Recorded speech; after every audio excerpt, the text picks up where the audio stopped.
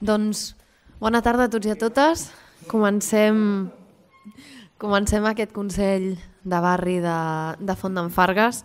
Eh, hi han molts temes, eh, doncs ja direm en aquest mm, any i pico de, de mandat que, que ens queda, no? doncs eh, portem, eh, portem una mica més de, de la meitat i hi ha moltíssims temes en curs eh, a Font d'en Fargues dels quals hem anat parlant eh, a tots els consells de barri i, i avui doncs, us explicarem una mica el, el punt en el que es troben doncs, alguns d'ells no? i també alguna, i també alguna cosa, alguna cosa nova. També, no? doncs, eh, una mica qüestions que hem treballat eh, des de fa temps i qüestions que encara queden, que encara queden per treballar.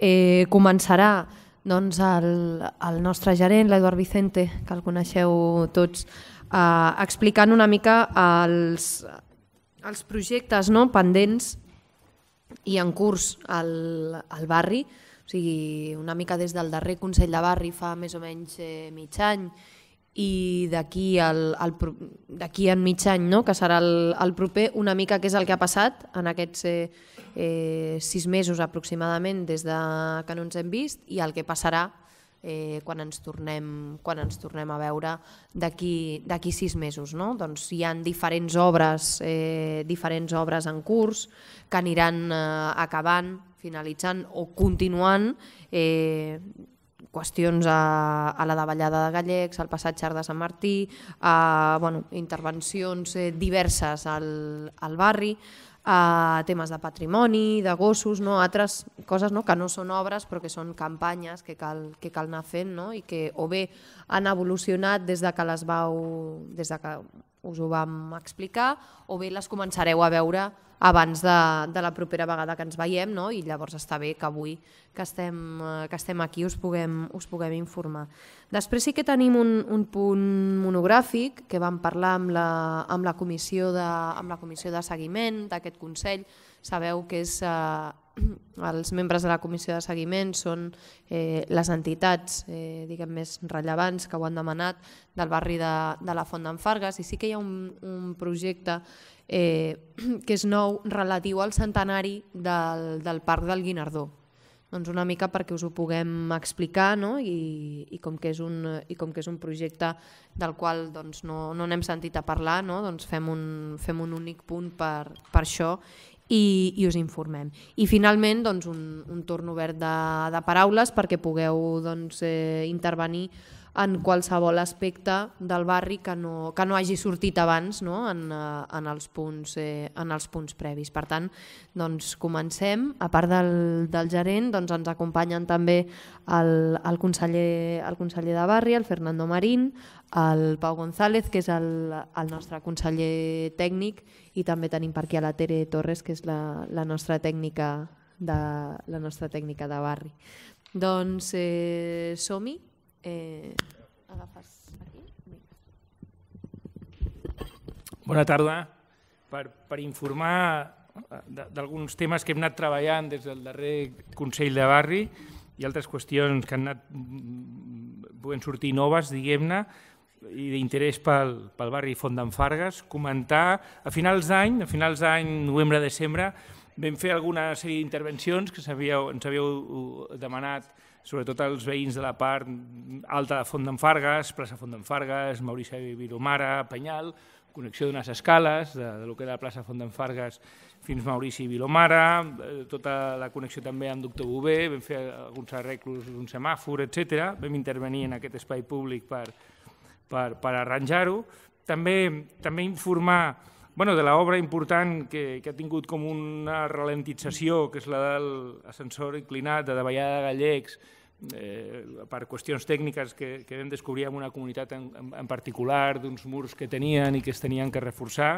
Això ho hem estat treballant molt amb els tècnics i també amb els tècnics de la comunitat de, de veïns i finalment pues, hem pogut consensuar una intervenció que ens han autoritzat a, a poder-ho fer i, i l'hem signat precisament aquesta setmana amb el que jo crec que el dilluns que ve doncs, aquesta obra ja agafarà un ritme normal d'obra i tornarà a treballar-se amb, amb normalitat, tot i que tampoc l'havíem aturat perquè si ara tenim tallat el carrer de Pedrell és perquè eh, anàvem avançant amb altres aspectes de clavegaram, però funcionava l'obra amb més lentitud. Això jo crec que ja està desencallat i, i ara la, la intervenció seguirà el seu curs i continuarà funcionant. També informar que, que fa unes setmanes ens vam trobar amb els veïns del passatge Art de Sant Martí, que és aquest passatge reivindicat que era privat i que ja fa un temps, o fa, des de l'any passat és, és municipal, vam ensenyar l'avantprojecte de com quedaria aquest passatge, que tots els veïns que vam convocar doncs, ens van donar el, el seu acord i, i que veien bé com s'estava enfocant aquest carrer i precisament aquesta setmana ja tenim els superaris de les nostres brigades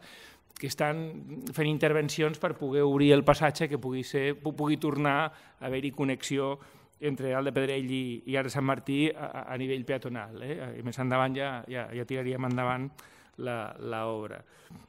Després, temes més, més genèrics que ho estem comentant també informant a altres consells de barri, els altres barris són més, qüestions de, de districte, però si les volien compartir. És que l'any passat eh, l'Ajuntament va fer una campanya de conscienciació i pedagogia, diguem entre cometes, eh, pel veïnatge a, a nivell dels serveis de neteja i vam tenir uns agents cívics que van fer unes rutes per tots els barris d'Horta Guinardó inclòs evidentment aquí Font d'en Fargues, d'efectes de, de tractar campanyes, ús de contenidors, eh, etc i altres aspectes no? vinculats a, a neteja. Això ho hem valorat positivament com anar la campanya, es tornarà a repetir el 2018, hi ha molta gent que, que vam, vam estar, establir contactes amb ells i, i ens han agraït diguem-ne aquest servei i el tirarem endavant. Si explicar, que, que no és menor, perquè continuament hi ha aquesta percepció generalitzada de la qüestió dels excrements dels gossos pel carrer com un element de brutícia que continuem tenint, i sí que el mes d'abril esperem engegar, fer una, volem fer una, una prova pilot d'habilitar una, una patrulla de guàrdia urbana, li, li diem la patrulla canina, que, que durant un mes específicament cada dia estaran vigilant punts que tenim per tots els barris, inclòs aquest, evidentment, per, per anar sancionant a, a, als propietaris de gossos que no compleixin els seus deures de, de recollir. No? I això ho posarem en marxa a veure com ens funciona i com, i com va. I jo per part meva pràcticament, per últim també informar que, que tindrem uns equips que aniran fent un, un estudi per tot el districte i també, com no, a Font d'en Fargues, per, per anar detectant i fer un cens, fer, fer una detectació i un llistat d'habitatges que estiguin buits. L'any passat, a l'agost, ho vam fer al Carmel, concretament en aquest barri. Eh, són diversos equips d'arquitectes que en base a informació que tenim de consums, etc, detectem habitatges pues, que no, no tenen ús i que són buits, i, i es fa, a, a, es fa aquesta, aquesta indagació, diguem-ne. Ara han començat el 15 de març fins a l'abril per fer-ho a, tot el, a tota la resta de barris que tenim al districte. És, és una tasca molt profitosa perquè d'habitatges que es detectin buits doncs es contacta amb les propietats i, i intentem arribar a acords perquè aquests habitatges tinguin l'ús que, que han de tenir i després també a vegades detectem casos concrets, per exemple, d'infrahabitatge, de, de vivendes que tenen problemes per poder viure dins i, i, i mirem també l'Ajuntament com, com col·laborar. Bueno, engeguem aquesta campanya, us volíem informar per si veieu algú pues, que està picant a la porta per, per demanar certa informació de part de l'Ajuntament que és amb aquest motiu. Jo per últim li cediria, li cediria la paraula al conseller tècnic perquè va haver la suspensió de llicències per la protecció del patrimoni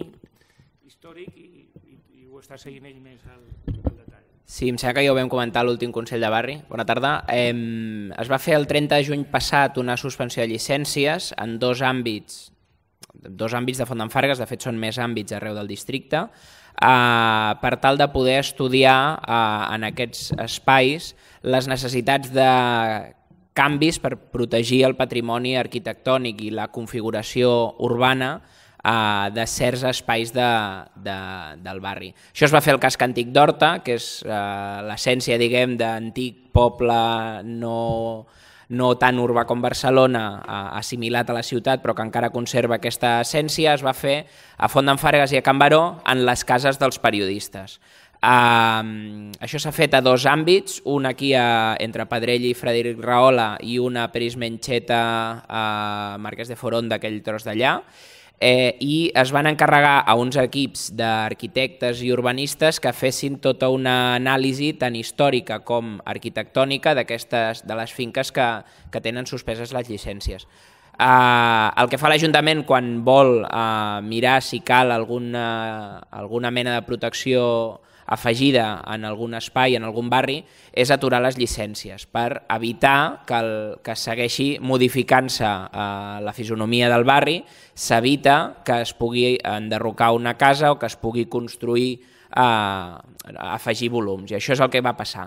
Aquests equips han estat treballant tots aquests mesos, al mes de, a finals d'abril aquests equips faran una proposta tècnica i la idea és, durant el mes de maig, a poder fer una reunió amb les associacions de veïns de Can Baró, Font d'en Fargues, amb les entitats eh, de patrimoni i memòria com el POU, i amb qui estigui interessat en aquest tema durant el mes de maig per explicar l'anàlisi tècnic que s'ha fet per part dels equips i recollir propostes. Uh, perquè uh, abans del mes de juny hi ha d'haver si, eh, alguna proposta concreta de canvis d'afegir no? de, de en el catàleg patrimonial, per exemple, o, en, o, o fer algun tipus de proposta concreta, les hem de fer abans del mes de juny perquè la, la suspensió dura un any. I per tant, durant el mes de maig la idea és que us convocarem, Uh, en principi convocarem només a les entitats, però volíem aprofitar avui per explicar-vos que estem treballant amb això, que si algú li interessa específicament el, el tema del patrimoni del barri, Uh, si voleu, a l'acabar la reunió o abans de marxar, si no us quedeu fins al final, si veniu a dir-m'ho, us convocarem també específicament. I amb un altre, del mateix tema, diguem, de la protecció del patrimoni del barri, eh, com que el barri de Font d'en és un barri bastant particular per la seva configuració urbana eh, dins la ciutat, eh, també farem, que hem, hem començat a treballar ara per fer amb, durant aquest any, una auscultació del barri de la Font d'en que el que és és una, una eina que es tira endavant des de l'Institut de Paisatge Urbà per detectar tots aquests elements de patrimoni i de configuració eh, del barri que li donen aquest caràcter específic o especial que té Font d'en Fargues. Això ho vam fer l'any passat, o fa un parell d'anys, l'any passat a la Clota, que també és eh, un barri eh, molt particular, eh, gairebé rural, diguem, eh, i ara ho farem a Font d'en Fargues i al Guinardó. La idea és anar analitzant eh, els barris o certes zones de certs barris per tenir eh, reconeguts tots aquests elements que formen part dels del patrimoni, diguem, eh, més intangible no? del, del nostre dia a dia als diferents barris. Això, això també ho estem, ho estem treballant.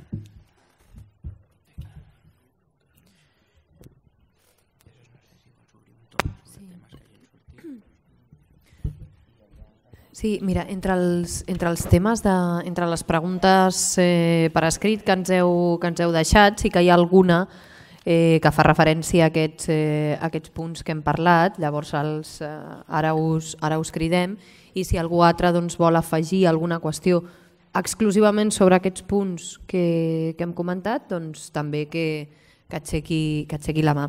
El primer, eh, el primer seria eh, el senyor Carles es, es, Espallargues, eh, vale, pel tema de, de l'ascensor inclinat. Vale, aixequeu, aixequeu la mà i així us poden apropar, us poden apropar el micro.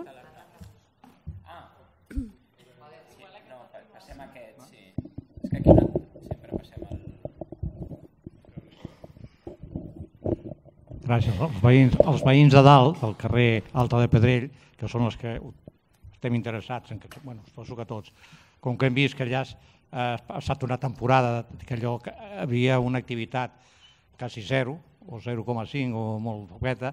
També ens havien dit pel barri diverses versions que si hi havia problemes amb la finca de baix, que si no humitat i que tal igual i que s'ha retrasat i si era un motiu o si simplement ja, ja s'ha insinuat que això ja està en marxa, que està en vies de solució i el retras quin serà? Vull dir, els mesos, el pla previst, que era per la, pel setembre de l'any que ve, no? Em sembla, heu dit?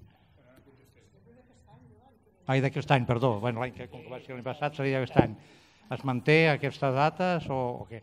Aquesta és una... Després... Les altres les fem després. Ara ens centrem només en els temes que hem comentat. Quins? Què tinc que dir? Pregunto sobre aquest tema jo. Sí, sobre això. Sí. Però després preguntaves pel 39. Dic que aquest sí. tema el deixem per després. Bueno, com vulgueu. Sí, ja, ja està.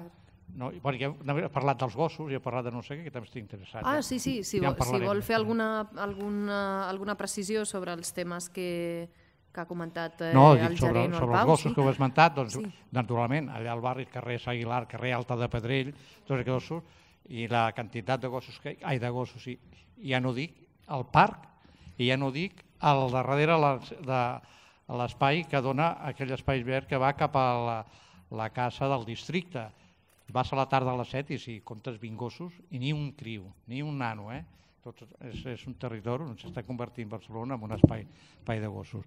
Era comentar, insistir, perquè ja hem dit jo, moltes vegades penso que no cal, diu, aquesta patrulla canina de multar. Només que hi hagués un urbano que els pités i els cridés l'atenció, només un cop de pito, jo penso que la, la, la gent faria, a vegades faria cas. Només un cop de pito, eh, sense multar. Ho dic perquè ja la multa seria i una mica pels nostres barris, pels nostres carrers, difícilment veus un urbano, ni un motorista, ni un d'allò que es dediqui a això. Eh? Fi. Vale, doncs, gràcies. El senyor Benjamí Pinyol, que volia comentar també sobre el tema de la davallada. Sí, bueno, representant a les dues comunitats que havien estat afectades sobre les filtracions de, de l'aigua que venim patint ja fa 10 anys, des de la davallada del 85, pues que al final, gràcies a la intervenció del senyor Duart amb els serveis tècnics de l'Ajuntament, pues s'ha arribat a uns acords per millorar no sols la impermeabilització superficial, eh, vam tindre una reunió amb Becassa, que són de les aigues freàtiques, i van aportar bastant no, sobre la seva experiència a millorar uns drenatges molt senzills que va proposar el nostre arquitecte i que van ser acceptats no, per GPO i pel servei tècnic i tal. I pues, agrair la intervenció que ha tingut, eh, que ha anat complint tot a les nostres demandes que van tindre en una reunió a l'Ajuntament. O sigui, S'ha anat complint i ara ja esperem que realment es tiri endavant l'obra d'una vegada i que, que veguem un altre futur. No? Gràcies. Doncs moltes gràcies. I la Raquel Duran eh, també volia comentar sobre la davallada. Bueno, jo, des de la meva ignorància, volia preguntar per què un ascensor i no una escala mecànica, per exemple? Perquè, mm, eh, no sé, és que és la gent que vivim, jo estic amb, amb aquell senyor que ha parlat abans, la gent que vivim allà dalt, jo casualment m'acabava de comprar el pis i a mi això m'ha trencat per la meitat, perquè a més a més jo tinc la meva consultoria al meu domicili i clar, és que és totalment impossible que pugui accedir a algú. O sigui, és impossible, no, no es pot accedir de cap manera perquè, clar, estem parlant d'un quart d'hora de diferència de camí, no? I estem parlant d'un any. O sigui, és que és, és, és, és molt de temps. Sí que es va dir que en cinc mesos s'obriria un camí, suposo que, mm, que és el que estem dient, no? que s'ha endarrerit i que es podrà obrir. Però mm, també volia parlar del 39, però no és del tema de que aquesta línia desapareixerà l'any que ve o No, no, temes d'aquests. Sí, Autobusos... és del tall d'ara. O sigui, jo a banda de que jo abans anava a peu sempre, perquè era un quart d'hora des d'Horta fins a casa meva. Ara el quart d'hora s'ha convertit en mitja hora. A part és que jo tinc artritis i a mi quan camino massa no puc. Si jo arribo a saber això, jo no vinc a viure aquí, perquè és complicat, no? Però bueno, és per un bé de tots, no? Que tenim un ascensor. El, el problema és que mm, estic obligada a agafar l'autobús jo pago un viatge sencer de l'autobús, però a mi l'autobús em deixa mig camí. A mig camí o a, no sé, un terç o dos terços de camí. Llavors, a veure si es podia amb els veïns deixar-li doncs, una tarifa més adient per la necessitat que tenen i, i pel recorregut que, malgrat agafin l'autobús, han de fer a peu. I pel tema dels, dels gossos, eh, volia comentar que realment el Parc del Guinardó o sigui, és propietat dels gossos. O sigui, jo no puc entrar. Jo no sé si la gent pot anar-hi, però jo no puc. No puc perquè van darrere del meu fill i és petit i no puc permetre que vinguin gossos perquè no van lligats ni van a, amb res i a més a més que eh, fan caques per tot arreu. O sigui, per tant, la pregunta concreta és mm, aquest tema de la patrulla canina i tot això que fem per evitar que, que caiguin al carrer s'aplicarà també al Parc del Guinardó o continuarà sent feu de, dels gossos. Per si podem anar a fer un pícnic algun dia o alguna perquè és tan maco que, que la veritat és que fa llàstima. I res més, gràcies. Vale, doncs merci. I també hi havia una altra pregunta, en aquest cas sobre el pla de protecció d'Horta, al, al senyor Josep Maria Armengou.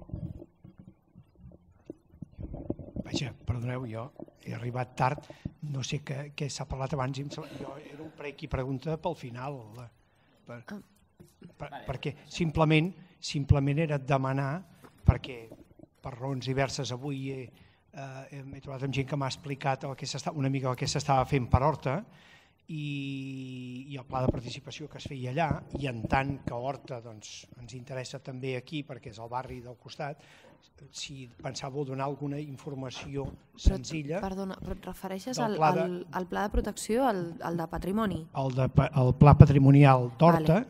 Que anava Sí. lligat amb el dels periodistes, em sembla també, I encara va- que és encarregat amb un altre equip, Mhm. i després la, la qüestió de la superilla d'Horta com estava. Eh, Vale. Era una qüestió informativa només. Pues Gràcies. Superilla ho, ho, deixem, ho deixem per després i el, el pla de protecció sí que és el, el mateix que han comentat. Doncs, eh, comenteu... Sí.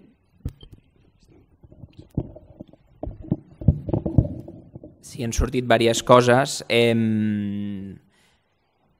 per, començo per lo més gran, eh? perquè un ascensor i una escala? Perquè l'ascensor dona una millora d'accessibilitat a persones que vagin amb un carro de la compra, amb un cotxet de nadons o amb cadira de rodes, que l'escala no, no els ajuda per res. I per tant, allà on es pot, s'intenten posar ascensors eh, o verticals o, o inclinats en comptes d'escales mecàniques, que sí que són una ajuda per les persones que podem caminar i de, més o menys bé, però a la que hi ha una, un carro, un cotxet o així, l'escala no, no ajuda en accés i per això s'intenten fer aquests ascensors encara que siguin inclinats.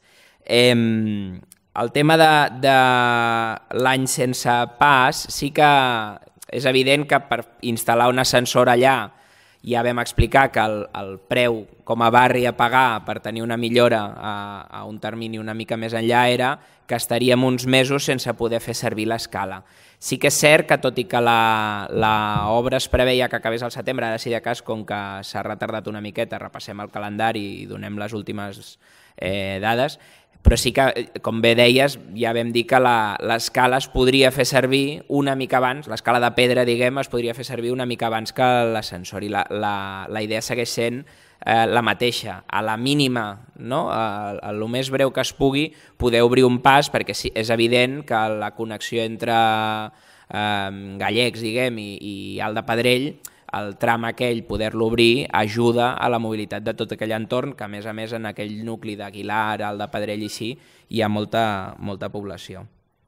El tema del tall del 39, nosaltres vam intentar que el 39, aquests dies, que són 15 dies, eh, que el 39 es desvia, vull dir que és un altre inconvenient, però és molt, molt acotat en el temps. Vam intentar que en comptes de girar per aquí Font d'en Fargues, girés per Aguilar. El problema que tenim és que per allà no podíem donar garanties de que el 39 pogués fer el servei.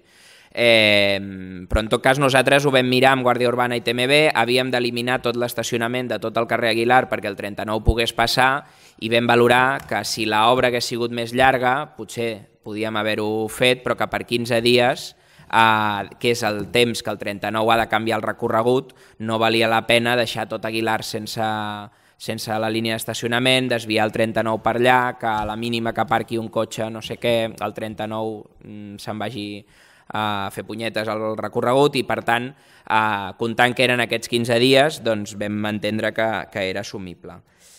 Eh, el tema dels gossos del Parc del Guinardó i d'aquestes zones que han sortit, de fet, el, el que nosaltres vam fer l'any passat era recollir aquests punts eh, específicament eh, on hi havia problemes diguem de convivència entre veïns i veïnes amb gos, veïns i veïnes sense gos, etc. Un és el Parc del Guinardó, perquè ens surt sempre a Font d'en Fargues, al Guinardó i a tots els barris de l'entorn va sortint eh, els problemes de convivència que hi ha al Parc del Guinardó, entre altres, diguem, perquè també hi ha altres problemes al Parc del Guinardó, com pot ser el mal estat de manteniment, que ara en parlarem al següent punt de l'ordre del dia, eh, i amb tota aquesta llista de punts eh, on la convivència s'ha de treballar per millorar-la, eh, vam fer aquesta tasca pedagògica l'any que ve, que repetirem aquest any, i també aquesta, aquesta campanya que provem aquest, aquest any amb, amb Guàrdia Urbana. Eh, I per tant, sí, el Parc del Guinardó, el carrer Aguilar, no sé quin més, el de Pedrell, totes aquestes zones que heu dit, també les, les mirarem de treballar, tant amb els agents de, que l'any passat ja van fer la feina, eh, de la bola, com amb, amb Guàrdia Urbana. Eh... I el, el tema de la protecció patrimonial, la, les línies mestres és detectar d'aquestes zones, com són les cases dels periodistes, en el cas de Font d'en Fargues o Can Baró, que són una mica el, el, el, el, la llavor del barri de Font d'en Fargues i per tant marquen una mica l'inici del barri, en marquen la configuració, etc etc mirar si estan prou eh, protegits eh, aquests eh, conjunts urbanístics que són aquestes dues zones, una aquí a Pedrell, Frederic Rahola i l'altra a Marquès de Foronda, si aquestes, aquests conjunts que són eh, on, on va començar la Font d'en Fargues, eh, estan prou protegits com a conjunt, eh, cadascun dels elements singulars que hi ha en aquests conjunts. Aleshores, això és el que estan treballant aquests equips, que el 30 d'abril acaben la seva feina tècnica i que durant el mes de maig, eh, com us deia, farem una convocatòria a les entitats del barri, tant de Font d'en Fargues com de Can Baró, per explicar aquesta feina feta i recollir totes les aportacions d'allò que ens haguem deixat, d'allò que li haguem de donar un matís, etc. I per tant, el que us deia, nosaltres convocarem les entitats, si algun veí o veïna es vol apuntar en aquesta reunió que farem al maig per treballar específicament el, la protecció del patrimoni, ens ho dieu ara a l'acabar i, us, i us convocarem. En paral·lel s'ha fet un procés a Horta, però sí que és cert que a Horta ja hi havia una feina feta de fa uns quants anys, del 2007 o 2008, al casc antic, i per tant s'han fet, tres sessions, s'han fet dues sessions i en queda una tercera, però perquè ja hi havia una feina feta més avançada, i és per això que allà el ritme ha estat diferent. Uh, però bàsicament la, la, les línies mestres són les mateixes. Uh, aquí parlem de periodistes, que és una mica el, el, el, el que, els dos àmbits que ens vam fixar. A Can Baró també ens fixem en periodistes i a Horta el que ens fixem és, el casc, amb, és amb el casc antic i amb el, els àmbits de Campo Amor, Salses i plaça Bacardí com espais molt singulars a, a dins de, de Barcelona i si vols comentar el tema del retard o així. Sí, no, a nivell d'agenda de les obres de Baia Gallecs, eh, la, la idea continua siguent cap a setembre-octubre finalitzar el conjunt d'obres i com hem comentat, abans de l'estiu sí que intentaríem tenir acabada l'escala per obrir-la pel pas hem peatonal, pas que després ja haurien acabats, etc que serien després de l'estiu. Ja anirem veient el retras que suposa, jo crec que anirà cap a octubre, finalitzar-ho tot i mirar entre juny i juliol la reobertura de les, de les escales. Perfecte, doncs si us sembla passem al, al punt monogràfic que dèiem del, del centenari del, del Parc del Guinardó. Sabeu eh, doncs que aquest any el, el Parc del Guinardó fa 100 anys eh, s'han començat a fer doncs, moltes activitats al voltant d'aquest centenari, involucrant les entitats, involucrant les AMPAs, no? doncs, eh, tota una feina molt interessant. I a més volem combinar-ho amb una, amb una rentada de cara, no, no amb una reforma integral del, del parc, però sí amb una, amb una millora no, del, del manteniment. Aproximadament no, doncs es farà una inversió de, al voltant de, al voltant d'un milió d'un milió d'euros. Per tant, doncs és, una, és una inversió notable. Penseu que en un espai tan gran, encara que sembli molt, un milió d'euros arriba per, per poc, no? però sí que, sí que creiem no? que es poden fer unes actuacions molt interessants no? I, i ara doncs, el, el Fernando, el nostre conseller de, de barri, us, comenta, us ho comenta tot plegat. Gràcies, Mercedes. Hola, què tal? Bona tarda. Sí, realment aquest projecte nos fa moltíssima il·lusió i us ensenyarem primer aquesta part que envien de l'avantprojecte de què és el parc i després us explicaré el que estem treballant a nivell d'administració i veïns, entitats, col·lectius, y todo tipo de equipament públic en el proyecto de dotarle de vida y de usos y de un bon uso, diria, com veréis després en, en les imatges que passarem. Aquesta primera part de l'avantprojecte del parc, la qualitat és bastant desitjable, de millores, però us la farem enviar per correu electrònic perquè ja veréis que les imatges no són de gran qualitat. Però, en fin, el Parc del Guinardó, como todos sabéis, ahora es el centenari, fue diseñado por Jean-Claude Maria eh, Forestier a l'any 1918 i ara fa l'aniversari, i la idea aquesta de l'avantprojecte va sortir dintre de ver parques de la ciutat pues, apostar per el que tenim aquí, per la condició aquesta del centenari. Realment és un parc que al 2007 es van fer els camins, si recordeu, i en aquest moment pues, necessita un reorden, un adaptar por la erosión terrible a la que está sometido. El desnivel del turó, donde está sentado el jardín o el parque, és d'un gran desnivell, són quasi 130 metres des de la part alta de Maria la Vernia fins a la part de Mara de Montserrat i el jardí es divideix en un origen, en una part monumental i en una part forestal. Nosaltres aquí tenim la part forestal, però el gran desnivell, con aquesta avantatge d'unes grans vistes i espectacular en la part forestal, té la desavantatge que tot el que són aigües de pluja ocasionen una gran erosió. La caiguda és considerable des de la cota més alta fins a la última. Entonces, en estos 130 metres, la erosión constante que ocasiona tant a los camins que es van adecuar com al resto o a lo que és pròpiament la terra. Con lo cual, el proyecto en si mateix és de consolidació. Aquí es va fer un estudi i van sortir les 11 cuenques d'on sortirien les aigües aquestes, les escorrenteries que porta el parc, se's va fer l'estudi de manera d'intentar adequar-les. Ara mateix en les imatges, que insisto, són d'una qualitat pèssima, està una mica l'estat en l'actualitat. No, no, són pèssimes realment. Ah, llavors, aquí, en aquestes imatges que, insisto, us les farem arribar, hi ha un sistema de drenatges totalment sostenibles a nivell estètic, a nivell d'ecologia, del sistema de, drenatge, lo que se entendería sostenible, que consiste en todo este ámbito del perímetro del parc en aguantar todas aquestes aigües i les aigües que ja la tierra com tal absorbe, no hi ha el problema, però són les que continuen fins al final.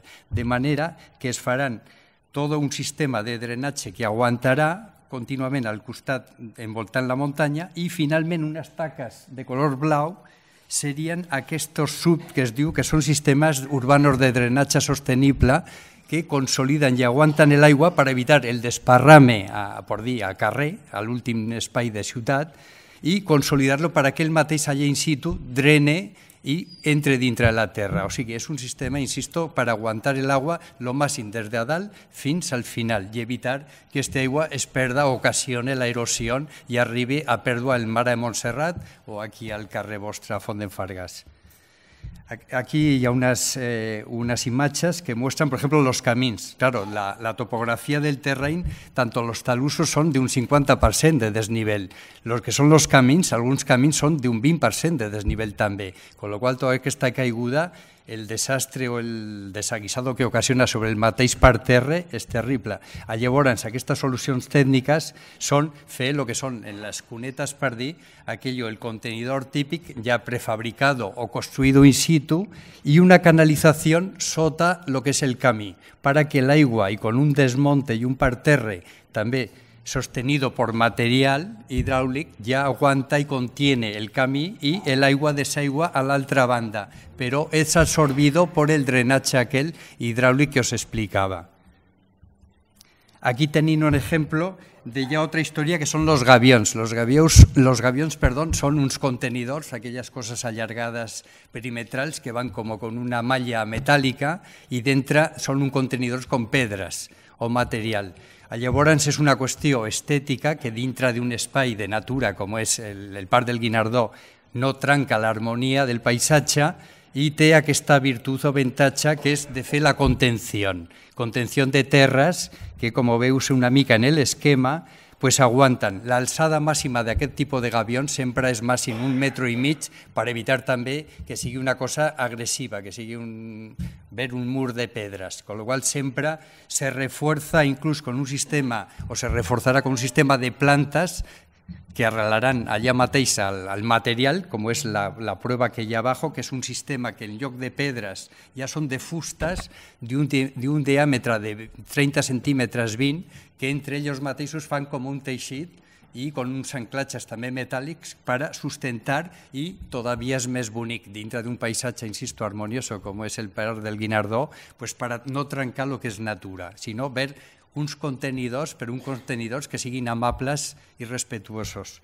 Y aquí ya unos ejemplos en unas fotos que, insisto, la cualidad yo sí que lo veo aquí al ordenador, pero no sé vosaltres allá las imatges, que es el sistema como aquel señor, está en la segunda imagen al final, están anclando, es un sistema que se ancla de fustas, bueno, es, igual, no, es igual, pasarem ja la visual, i bueno, eh, direm, Aquí tenim els camins que existen en l'actualitat, alguns camins que se crearan de nous i tots aquests camins, insisto, la idea és fer com en la imatge del gràfic, con ja l'adequació i el talud previsto para que l'aigua quede sempre recollida a l'esquerra i el camí evitar aquesta caiguda d'aigües que, com si ara donen un tom, com jo he vingut caminant abans per aquí, per la muntanya, ves com estan els camins després de les pluges que hem tingut, pues que són rierons que han destrossat pràcticament els camins en algunes bandes.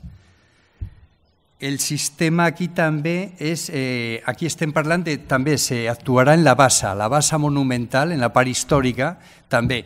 És una llàstima que en aquest moment, si camineu per allà, eh, té sortides d'aigua i està bueno, està en un estat pèssim.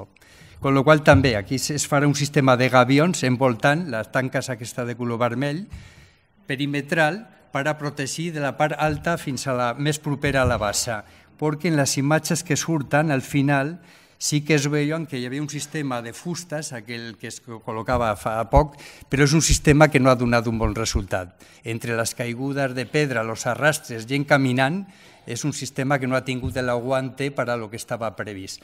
De manera que aquest tipus de gavions, que és un sistema més consistent, sí que farà aquesta tasca, insisto, de, de donar-li una eh, qüestió estètica, que és important, i una qüestió de resistència i d'aguante de les terres, i la no, no pèrdua.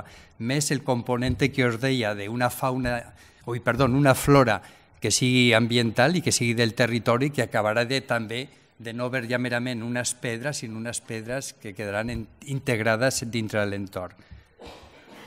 Aquí una mica explican los avantprojectes dentro que se actuarán al parc. Per exemple, en la mitja luna, que està aquí al mig, la tanca aquesta de color eh, salmón, es farà una intervenció i també es crearà un camí que unirà a altres de los camins que hi ha al costat. O sigui, aquí sí que es farà una de les intervencions.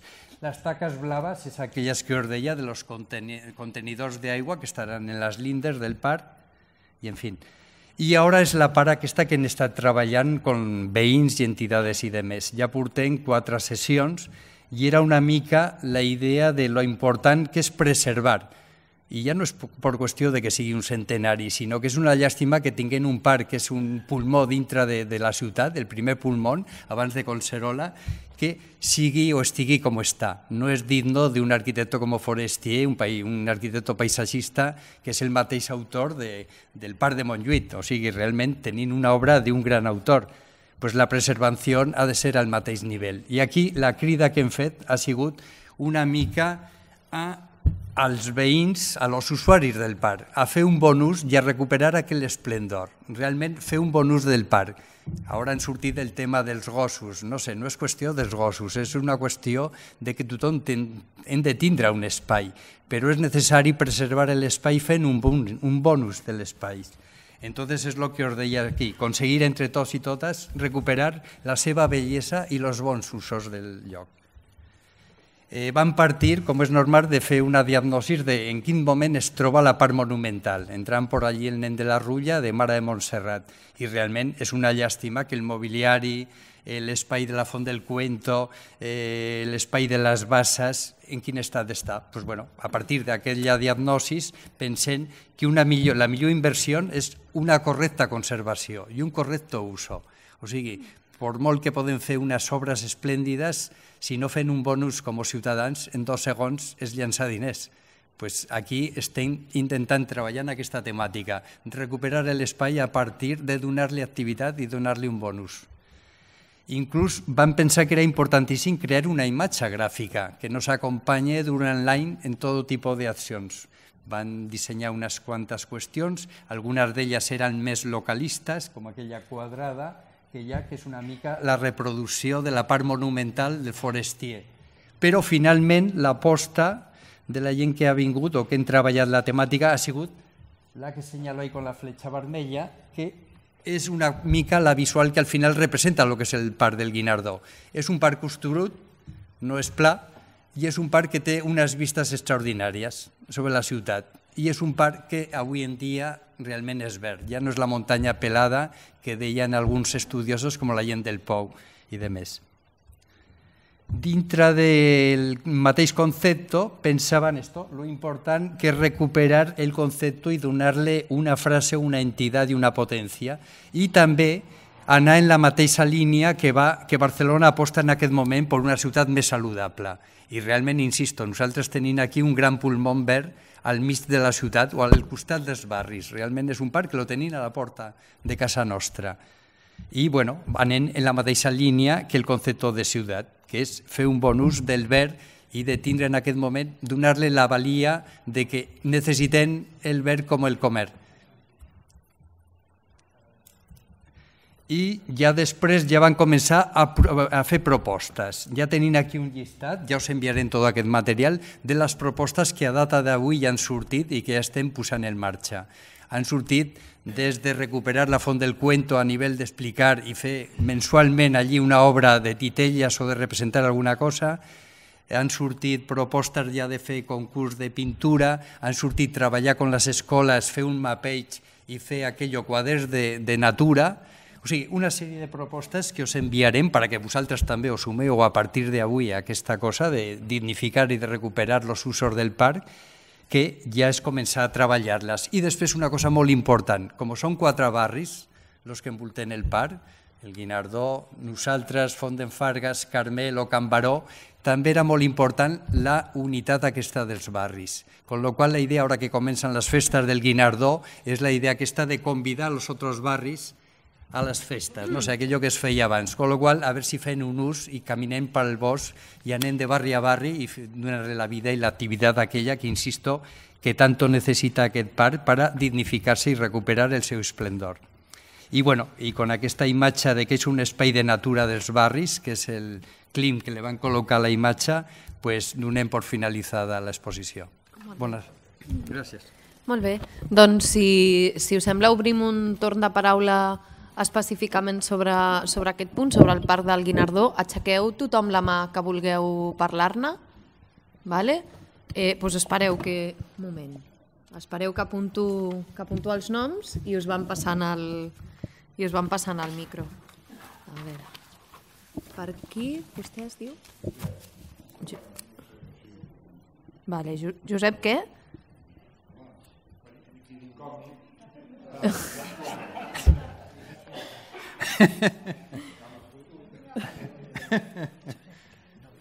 pues, pues no, no l'he sentit. Comas, vale. Al costat, Pinyol. No, no, és pel nom. Que em digui el nom. doncs a mi... Pinyol. Les llargues. Aquí darrere... Sí, Carles què? Perquè aquest senyor també es diu Carles.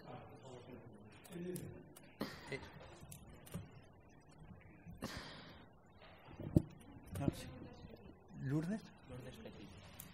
Vale. Petit. Molt bé. Armengou. Vostè? Olga Fígols. Félix. Félix. Quim. Sales I Quim. i el... Vale, molt bé. Doncs, vinga, comencem. Ja estàs, Ah, ja, I un Quim. altre? Sí, el, Qui- el Quim, Quim Gascó. Doncs comencem pel... No, ja, ja, sí, és que sí, que sí que cal micro perquè com que gravem els Consells de Barri, encara que aquí ens sentim, si no després el, això ho pengem a la web del districte i llavors se'l veurà movent la boca però no se sentirà res. llavors, millor que... Ok. Se sent ja? Vale. Perfecte. Escolta, mira, eh, jo crec que mm, a tot això que heu dit és fonamental i que es portarà grans dosis de qualitat de vida i tot això. I a més a més estic content per aquest assumpte, molt content. Perquè sempre m'ha donat la impressió que la ciutat no ha cregut mai amb el pare del Guinardó. No hi ha cregut, era un nom que li venia ample. quan jo vaig vindre a viure aquí, això no era un parc, era un bosquet que havia quedat, que dius, cony, eh, mira, què passarà aquí? De mica en mica aniran quedant sense bosquet. Sí, jo vaig pensar això. I, I veig que no. Jo voldria fer una pregunta que sempre m'ha impressionat molt perquè amb, amb, els, amb els anys hi ha hagut diferències. La pregunta és, està acotat el Parc del Guinardó? Està delimitat i acotat? Perquè la pressió urbanística és ferotge en una ciutat. Jo cada vegada veig que pum, una mica més per aquí, pum, una mica més per allà, aquell amb l'excusa de l'altre, l'altre perquè és una cosa social, l'altre perquè... Hòstia, m'entens? Està acotat primer i després, una altra cosa, la salut del parc. Antiplagues, eh? la salut del parc. Cada vegada hi veig menys arbres, eh? per molts motius, però cada vegada hi veig menys arbres, a part de la deixadès, la deixadès és una cosa, però la salut del parc també, també hi cura. I, i, en fi, i res més, tot l'altre que m'ha semblat magnífic perquè si recull la, la, els interessos de la gent que hi vivim i ho porteu endavant, doncs és la comunió perfecta entre poder i poble. Molt bé, moltes gràcies. Benjamí. Sí, jo només volia saber qui serà el coordinador de les activitats, perquè jo tinc una proposta, saber qui és el coordinador per fer una proposta. El Carles, Espallargues. Sí, jo respecte a la, el que heu dit en quant a les drenatges i tot això, doncs perfecte, si funcionen, molt bé. Uh, perquè totes aquestes terres van a parar als carrers, de, de més, des, de, des del carrer mm, Guinardó, ai, del Mansalà de Casanovas, la, de la plaça de de la Rulla, etc. Jo dic, en quant als gavions, aquests, aquests gavions, doncs, eh, les pedres que es posen a dintre, jo n'he vist llocs, com el privat de Cint, que es posen, si es posen de licorella, que és el mateix que hi ha en un lloc, normalment venen amb peces de granit, amb pedra granítica, però jo he vist en llocs que es posen amb, amb, amb licorella, que és el mateix que hi ha al Parc de Guinardó, tot el darrere. Aleshores quedaran molt més integrats, és una, és una, és una proposta que faig, eh? simplement, i també els he vist que els esquitxen de, els, si és, és allò, del, del, si estan, perquè es fan, es fan, allò es fan a mida, eh? tu te'l pots posar sí, sí, sí, a la mida i, la, i el tipus de material. Estupendo, doncs. Molt bé, gràcies.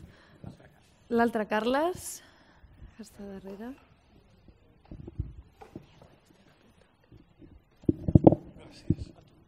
Bona nit. Uh, jo he viatjat una mica i a l'estranger he vist parcs semblant amb aquest que tenen esquirols i quan he arribat aquí a Barcelona i he sortit a passejar, que hi surto molt, perquè estic jubilat, m'he trobat una cosa molt estranya en el parc, fins que em vaig descobrir que era que no hi ha esquirols. És una cosa que dona una sensació de natura, que hi ha vida. Aquí, a part dels ocells, no he vist res més. Gràcies. Vale, gràcies. Uh, la Lourdes?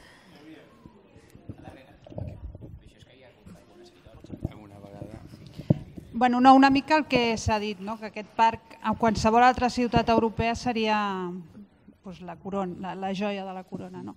Una mica això que deies dels... dels bueno, jo no n'entenc massa, però hi ha una part de la muntanya que està sobre rajoles i, i runa de cases que hi havien hagut allí.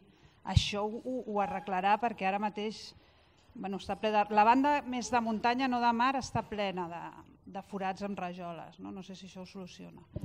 L'altre, el tema doncs, això dels esquirols, molt bé, però és que està ple d'orugues, però que arriben fins a baix, fins a Font d'en Fargues, arriben moltes orugues. Jo avui he matat dos metres d'orugues que hi havia a l'entrada del parc. Vale, el Josep Maria Armancou. Sí, bé, uh, el senyor aquest que deia eh, que l'Ajuntament mai, o que la ciutat, eh, diguem la ciutat, no s'ha fet mai seu al Parc de Guinardó és, eh, és absolutament cert. És insòlid que un parc d'aquestes dimensions, eh, sobretot la part forestal, perquè eh, els ajuntaments diferents s'han dedicat simplement a reformar la part històrica, com si fos estrictament el nucli, que és el 20%, el 80% ha estat sempre abandonat, però fa pocs anys, fa 25 o 30 anys, eh, era un parc de comunicació, sobretot entre el Carmel, la Font d'en Fargues i Can Baró, natural, que ara que hem augmentat molt de demografia en tota, en fi, a tota la ciutat, però en aquesta zona també, ara ho és molt menys que abans. Mm. És un parc que rebutja la gent, que, que un perquè el troba fosc, l'altre perquè el troba faresta, l'altre perquè està absolutament eh, descontrolat amb el tema dels gossos, eh, que, que, que és veritat, està descontrolat, no són només la, les merdes, és que els gossos han d'anar lligats i no hi van en absolut, jo entenc molt bé un que tingui un gos eh, li agradi un lloc per córrer, però el parc aquest ha de, ha de conviure totes les situacions. Eh, llavors penso que tenim un problema d'educació de, important que només podem abordar amb sistemes comunicatius una mica seriosos, per exemple, encara que s'hagi de dir coses que són elementals, perquè fins a la meva generació aquestes coses no s'havien de dir, però a partir de la meva generació s'han d'escriure, no? eh, recull les caques, eh, un, unes normes de, de conducta, un manteniment exquisit de les senyalitzacions, les que porten cap a diferents llocs, que està vandalitzat sempre, jo estic fart d'avisar el telèfon del civisme de que les pròpies entrades, una entrada tan important com la de Montserrat de Casanovas, està vandalitzada sempre. És impensable això en el Turó de la Peira, sense anar més lluny, no? ja no em refereixo al Turó Parc. No? Llavors, tot, tot això que conforma una, una manera de no mantenir el parc i de no viure'l com a propi, un parc que crec que necessitaria un element gestor, i quan parlo d'element gestor parlo d'una persona o d'un grup de persones, els forestals, que en bicicleta o en moto elèctrica eh, o, o a cavall eh, anaven, anaven abans pel parc, la, la, allà a la mitja lluna hi havia l'oficineta aquella, tot això s'ha perdut d'una manera, és a dir, s'ha perdut justament després que es va fer la gran inversió del 2007, que va ser molt bona. És a dir, hi ha, una sèrie de coses que realment no es corresponen amb la importància que aquest parc té i hauria de tenir per recuperar la vida entre els barris, perquè ara la proposta teva que de festes majors anem d'un barri a l'altre pel Parc de Guinardó, aquest any ja ho tenim perdut, això. És a dir, ha de ser, si de cas, per l'any que ve. Oh, no, sí, aquest, any. sí, aquest any. Bueno, però hauràs de, eh, hauràs de ser tu el que vagi de guia eh, amb, la, amb el paraigua i ensenyant a la gent perquè hi ha gent jove que no hi passa mai. És a dir, no és ni una ruta de footing, no és ni una ruta de footing. Eh? I mira que hi ha gent que es desplaça quilòmetres del barri i tenim el parc aquí al costat de casa que s'hi pot anar a caminar cada dia tot això s'ha d'entomar amb, amb temes de comunicatius importants, penso, i sobretot eh, de gestió del parc. Perfecte. Uh, la Olga Fígols? Bueno, jo volia parlar respecte a això que ha dit de que s'anaven a fer algun camí nou o tal al parc. Hi ha un camí, que és un camí de cabres, que està sota del, del col·legi eh, Ferran Tallada, que fa molt temps que està com un carrer i allò és que mm, és impossible passar. A, a, al costat del Ferran Tallada hi ha unes escales que tam també estan en molt males condicions. Això ja ho vaig dir jo fa doncs, no sé quants anys, perquè passava per allà i un dia no vaig poder passar perquè tenia moltes dificultats i és que hi ha trossos que allà et pots fumar cap a baix com un d'això. Llavors, això seria una bona entrada. I bueno, hi ha més coses, però bueno, aquesta és una cosa que... perquè la part de, de Doctor Bové i Gran Vista quedarien eh, comunicades per allà perquè hi ha molt mala comunicació entre aquests dos carrers que un és a sobre de l'altre. I després, bueno, una cosa que no és del tema, però també les escales mecàniques de, de la Font de la Molassa, perquè fa molts anys i no es fan ni a tiros, o sigui, res més. Vale. El Félix González.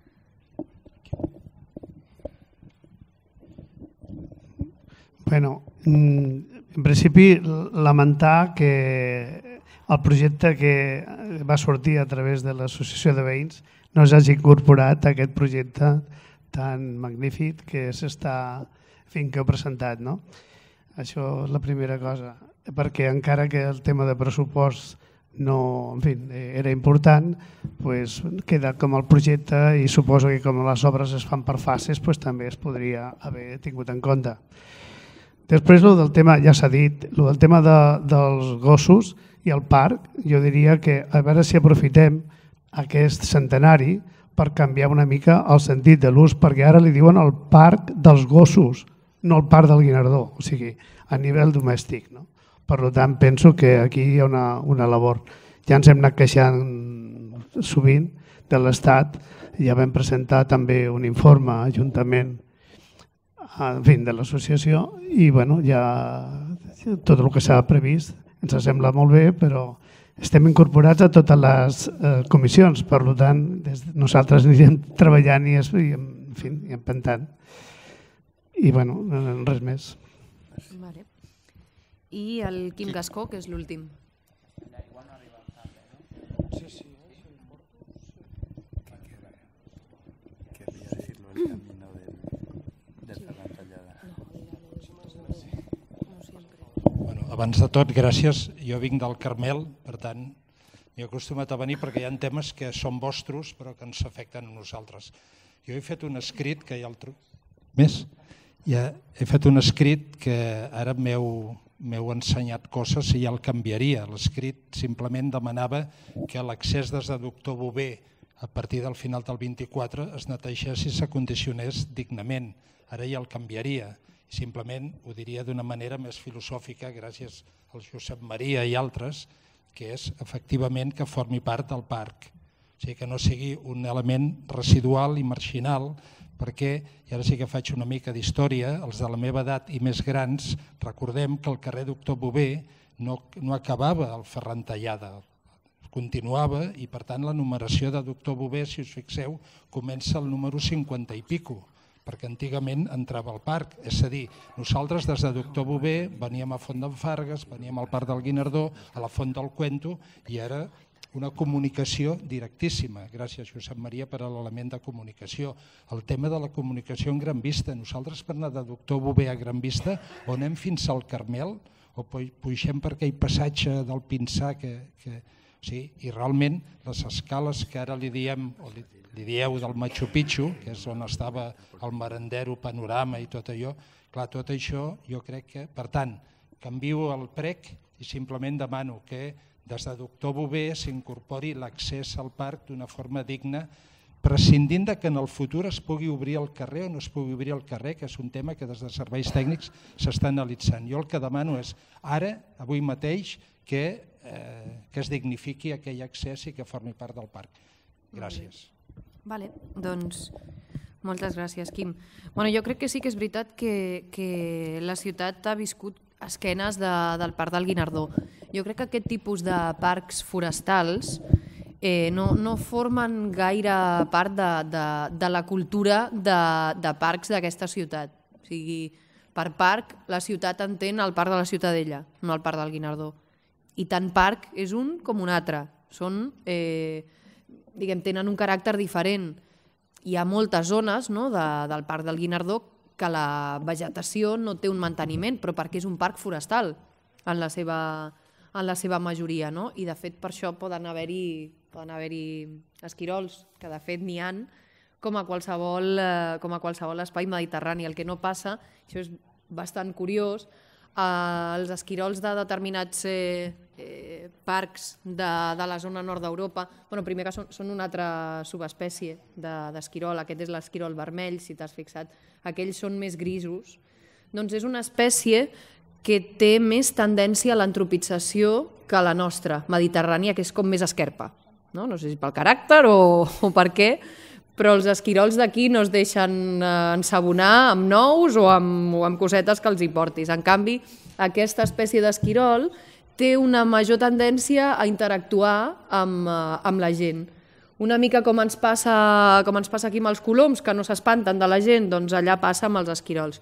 En els nostres parcs també hi ha esquirols, però es guarden molt de deixar-se veure, eh, de deixar-se veure per, per la gent. De fet, la biodiversitat de Barcelona ens, ens sorprendria eh? la, la quantitat de la quantitat d'animalons de, de fauna mediterrània que tenim en, el, en aquesta ciutat. I és una de les coses bones de mantenir espais forestals, perquè són espais naturalitzats que funcionen exactament com funcionaria doncs, un, uh, un, un tros no? de, de, de paisatge que s'hagués quedat tal qual. I per això també són molt valuosos i les actuacions que es facin aquí doncs, han de tenir un altre caràcter. No? Eh, per exemple, no? doncs, estaria molt bé que servissin, i això sí que ho contempla el, el projecte, doncs per, per, fer, eh, per servir no? com a comunicació en aquests, eh, entre, aquests, eh, entre aquests barris no? que antigament unia el, el, parc del, el parc del Guinardó i que s'ha deixat d'utilitzar per això, no? doncs potenciar els camins, eh, diguem, acondicionar-los perquè tinguin un, un servei no? per, per caminar. Jo abans deia que un milió d'euros, encara que sembli molt, no? doncs, eh, en un parc tan gran no dona per arreglar-ho tot i ja amb, les, amb totes les intervencions que heu fet ja us dic que no arriba per fer tot això que, per tot això que heu demanat. Però eh, per, en part sí que arribarà i jo crec que quedarà un, un projecte que respondrà bé a les necessitats. Una de les coses que es vol potenciar són precisament els camins, no? que és una cosa que en un entorn forestal doncs tenen, tenen, tot el, tenen tot el sentit. O sigui, preguntava el, el Josep Coma si, si el parc està delimitat, si ha, està perfectament delimitat, perfectíssimament.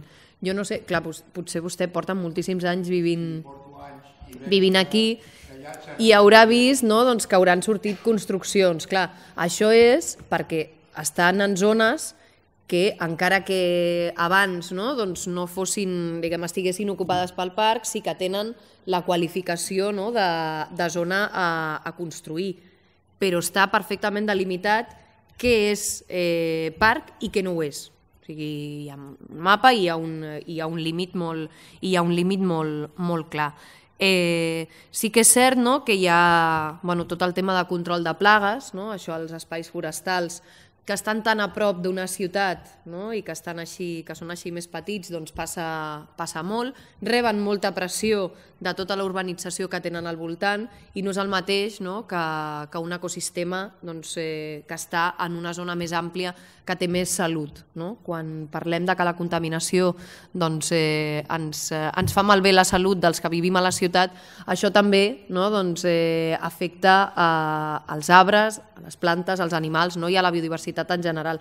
A nosaltres ens fot els pulmons no? I, ens, eh, i ens provoquen eh, malalties cardiovasculars, als arbres no? doncs es manifesta en una major recurrència a determinat tipus de plagues. I una d'aquestes plagues és la processionària, les erugues, que comentava la, que comentava la, la Lourdes. N'hi ha a tots els, eh, a tots els parcs de, de la ciutat que tenen pins. Eh, les erugues són, és, una, és una espècie eh, invasora bastant difícil de, de combatre, que a més, no, doncs ara la, a la primavera, sobretot, es veu com fan aquests camins llarguíssims, no? per això li diuen processionària, perquè van processó una darrere l'altra, i formen no? doncs, cordons d'erugues que són sobretot eh, doncs, perillosos en el cas dels nens eh, i, dels, i dels gossos, perquè són molt al·lèrgiques molt, molt al·lèrgiques. Per tant, eh, doncs, aprofitem per recordar-vos que, tingueu, que tingueu molt de compte en la processionària. S'actua i des de l'Ajuntament es, fa un tractament de, es fa un tractament de plagues. Veureu, eh, veureu cartells grocs que posen eh, tractament fitosanitari, tractament de plagues, i això és que s'està fent eh, i això és que s'està fent tractament. Es fa a tot arreu, eh, i al Parc del Guinardó també es fa. Una altra cosa no, és que estem parlant d'una plaga molt resistent i a sobre no, doncs en, un, en un espai, en un entorn urbà on els arbres doncs, no tenen la salut que tenen en un bosc i per tant diguem, és més difícil guarir-los, no? però eh, sí que es fan tractaments i es fan de, i es fan de forma contínua. Fixeu-vos que, que trobareu, o sigui, es fan tractaments diguem d'atac i es fan tractaments preventius de tots dos, de tots dos tipus. Això no vol dir no, que no ens trobem erugues, perquè continuen havent-hi, perquè com deia és una plaga és una plaga molt, eh, molt resistent. Um, sobre, sobre el tema dels, de les, dels forats amb les rajoles que comentaves eh, tu també, Lourdes, eh, doncs no, no crec que ens doni el projecte per arreglar-ho per arreglar tot. Potser sí que hi ha alguna part que ara el, el Fernando ens ho pot precisar una mica més, sí que hi ha alguna part que, que, es, pot, que es pot arranjar, però no, però no, ens donarà, no ens donarà per tot. Eh, sobre el tema de la, de la incorporació de l'associació de veïns de, de Font d'en Fargues, evidentment, això està naixent ara. amb la qual doncs, eh, evidentment, encantats de que, de que hi, hi participeu, perquè la idea no, del, del centenari, que crec que ho ha explicat molt bé el, el Fernando, no? doncs és combinar aquesta acció comunitària no? de les diferents entitats que, que hi volen fer accions al voltant amb aquesta repassada no? en, eh, en manteniment i posta al dia que, que farem, amb la qual doncs, encantats eh, de, doncs, de, de, rebre, de rebre les vostres propostes i que treballeu conjuntament amb, amb, les, amb les altres entitats, que segur que hi ha més gent que conforme i més entitats que conforme vagi sentint no, de, de que això es posa en marxa, doncs també s'hi vol, també vol afegir. Vull dir que encantats de, encantats de, de la participació.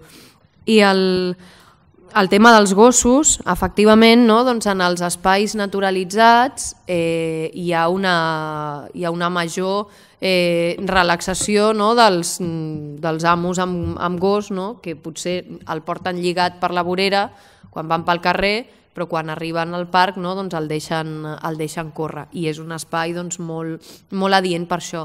Hem de buscar també un, un equilibri i a la ciutat doncs, s'estan doncs, fent eh, zones de convivència, establint algunes àrees específiques per gossos, però en altres espais el que, el que es fa no, doncs és delimitar i fer una proposta d'usos compartits, no? uns horaris on això es pot permetre i uns horaris on això no. no? I parlarem també no? doncs de, de quin model d'ús eh, per part dels gossos volem pel, pel part del Guinardó, perquè de fet no? doncs, eh, és, és impressionant, però una de cada quatre persones a la ciutat eh, té mascota i la majoria té un gos.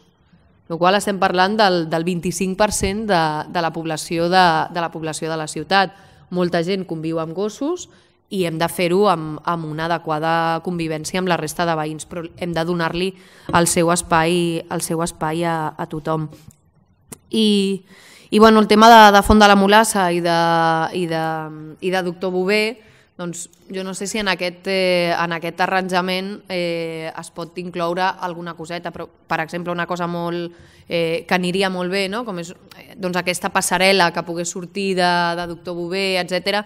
Això estem parlant d'una actuació que implica urbanització gran, cosa que no, que no, contempla, que no contempla aquest projecte, perquè diguem, ens gastaríem un, un percentatge del pressupost molt gran no? en una única actuació i el que es pretén no? és repartir aquest, eh, aquest milió d'euros en actuacions de manteniment diguem, més petites, però sí que, que queda pendent i jo crec que és una, que és una qüestió molt interessant a incorporar per part de, o sigui, també per l'accés no? del, del barri del Carmel, que per allà dalt, no? de fet vam estar veient-ho veient l'altre dia, eh, pot tenir una via, una via de comunicació eh, integrada en el parc que, que està molt bé. Però repeteixo, això és un, és un tema d'urbanització, un projecte propi, diguem, no? doncs fer, fer un, un camí d'aquestes eh, característiques, però alguna cosa de manteniment, etc veiem si, si pot incorporar. I el Fernando, si, si vol complementar, perquè sí. segur que m'he deixat alguna cosa. No, simplement si lo que era de neteja, de rajolas y demás que deies, claro, aquí el proyecto es lo que deia, fer tot el tema aquell de sustenció, de control d'aigües, d'escorrenties, de talussos i de més. I la part participativa, veïnal i administrativa en donar-li vida i usos durant l'any. La neteja sí que es va fent. A Can Baró va sortir un tema de fibrocemento, eh, de amianto i s'han fet un canvi de terres que ara es faran el, la substitució de terres, s'ha tratat, s'ha recollit tot l'amianto, o sigui, aquesta part que era més important, perquè implicava un risc per a la salut, sí que s'ha fet la intervenció. Aquesta part que deies de les rajoles i de més, a poc a poc sí que es fa, va recollint tot el que és, perquè es considera que és neteja purament, però la intervenció són les dos que us deia, que era el tema de les, de les torrenteres, de les escorreries i, i, i del sustentar i aguantar les terres. I insisto, jo per mi la gran part important és aquesta segona, que va de dotar-le d'usos i de conscienciació, com per sort heu comunicat algun de vosaltres. Sense un bon ús o sense omplir-lo de vida, farien una obra més o una intervenció més i duraria el que duraria, però l'important és que aquesta activitat li doni una vitalitat d'usos i a partir d'aquí qualsevol inversió ja serà per sempre. I per mi m'ha semblat mm, interessantíssim la conversa també, el que dèieu, que aquest parc a un altre lloc del món seria bueno, el Nova Més. I aquí lo tenim com un, com un solar, a vegades. Jo que tenim la gran sort com a veí i que ara com conseller de caminar cada dia i atravessar la muntanya i passar de barri a barri, jo lo veo com una cosa tan natural que ens sorprèn moltíssim que ja s'hagi perdut aquest hàbit i que realment els veïns simplement surten perquè tenen un gos o a donar un tom mínim. Però per mi, jo lo faig servir com un camí, con lo qual penso que és importantíssim, insisto, de dotar-lo de vida i d'una necessitat imperiosa de recuperar aquesta esplendor al seu moment i en aquell moment inclús la part forestal no seria la que ara tenim, que ara és una gran part forestal, ja no és la muntanya pelada. I després, lo de les escales de Machu Picchu, eh, que són conegudes com Machu Picchu, aquelles que deies, realment allí sí que es va fer la gran intervenció que va ser ampliar la vorera del carrer de Gran Vista i consolidar la part de començament de les escales, però és una cosa que, que ojalà, però en aquest moment hi ha coses més prioritàries i jo la camino de tant en tant i sí, no és un ús per a ir con nens, però bueno. El Benjamí preguntava amb qui pot parlar. Per ah, sí. Ah, sí, pues mira, jo personalment estem nosaltres ahí, mira, Joan Cela, el col·lega que està allà al fons també, que és otro, un altre no, conseller. Qui serà, la, qui, serà la, qui serà el coordinador d'activitats? Ah, perdó. La coordinadora d'entitats en aquell moment és que estem... Com... A què volies?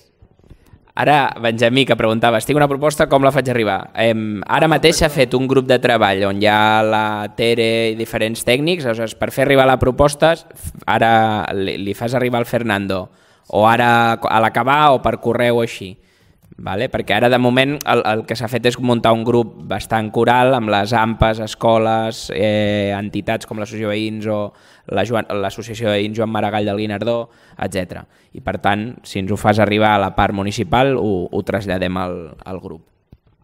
I per últim, hi havia una proposta de l'Associació Veïns que dèieu, lamentem que hagi quedat fora, Aquí remarcar, que ja ho vam explicar a la comissió de seguiment, que no és que hagi quedat fora, és que el que us vam explicar és que com que el projecte ja estava fet i estava acabat, incorporar una bona proposta que fèieu volia dir retrasar el projecte i per nosaltres era més interessant poder acabar i tancar aquest projecte i tirar-lo endavant i deixar per un segon moment posterior el fet d'arranjar l'entrada. La, la proposta de l'associació veïns era en el final de, al, a l'inici de Montserrat de Casanovas, on hi ha la, la, la, les escales que pugen des de, al de Pedrell, allà, en aquella entrada que ara mateix és una mica, un, no, no, no es nota que és una entrada a un parc tan important com el del Guinardó, poder fer una actuació important que hi posés jocs infantils, em sembla que hi havia un espai de gossos, que hi hagués en aquella entrada una entrada més amable al parc.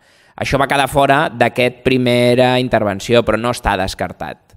Vale? Que això també insistir perquè era una proposta que estava molt treballada des de l'associació veïns i que eh, no cabia en la primera fase, però sí que no està descartat.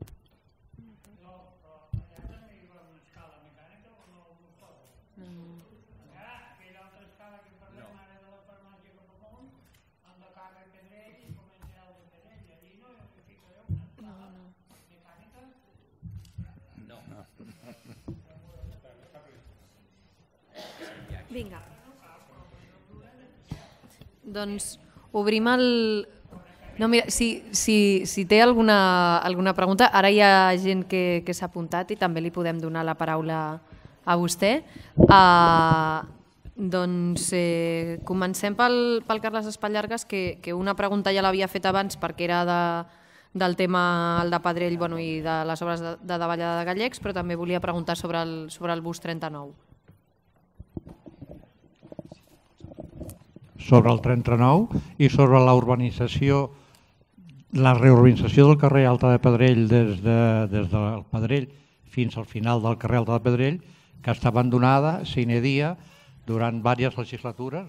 Estava, estava, estava prevista, sembla que feia dos legislatures, així, i, i després diu que va caure de les d'allò quan va haver la crisi.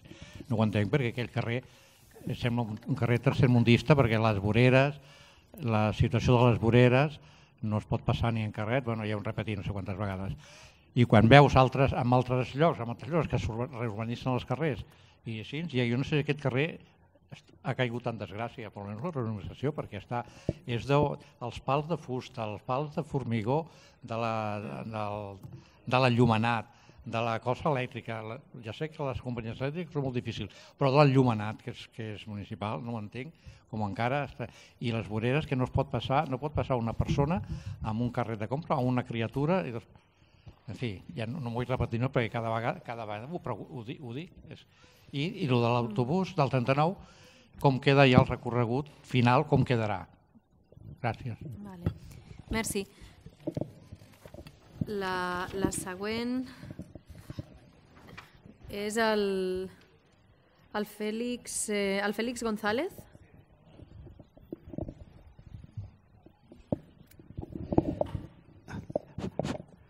Dins d'altre terme de coses, és, eh, és que m'ha semblat que pel telèfon del civisme és una cosa massa important, però tots els escursers del carrer Marí estan fets caldo.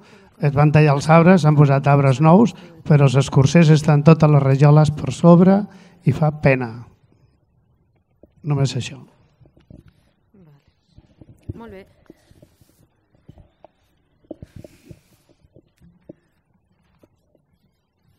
El Josep Marquès.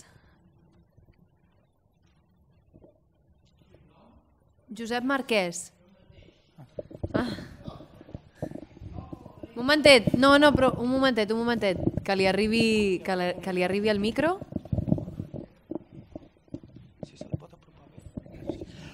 S'ha parlat molt dels gossos. Veritat? L'Ajuntament té la paella pel mànec. No anem tan lluny. Anem a Perpinyà. A Perpinyà traiem els gossos a les 8 del vespre fins a les 10. I s'ha acabat. I si l'Ajuntament troba algun gos que hi ha pel carrer i té amo, la multa li cau al pèl. Heu parlat molt dels gossos com si parléssim de, de jugar a cartes. No senyor, no. S'ha de posar, com vulgueu dir, la paella pel mànec. Feu això. Poseu un horari pels gossos i trareu l'entrellat. Hores, sí, de les 8 del vespre a les 10 de la nit.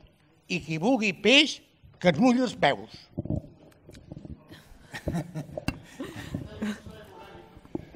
Molt bé.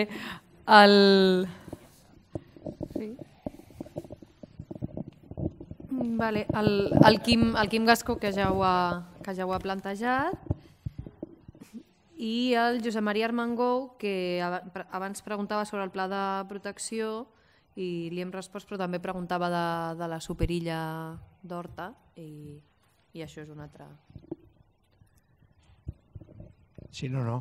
Jo no tinc res més a dir. Ara, ara us toca a vosaltres. Ah. No, no, jo la, la, la qüestió era... Però la pregunta sobre la superilla, la sí, pregunta però que vull dir que jo no és? tinc, no tinc cap informació.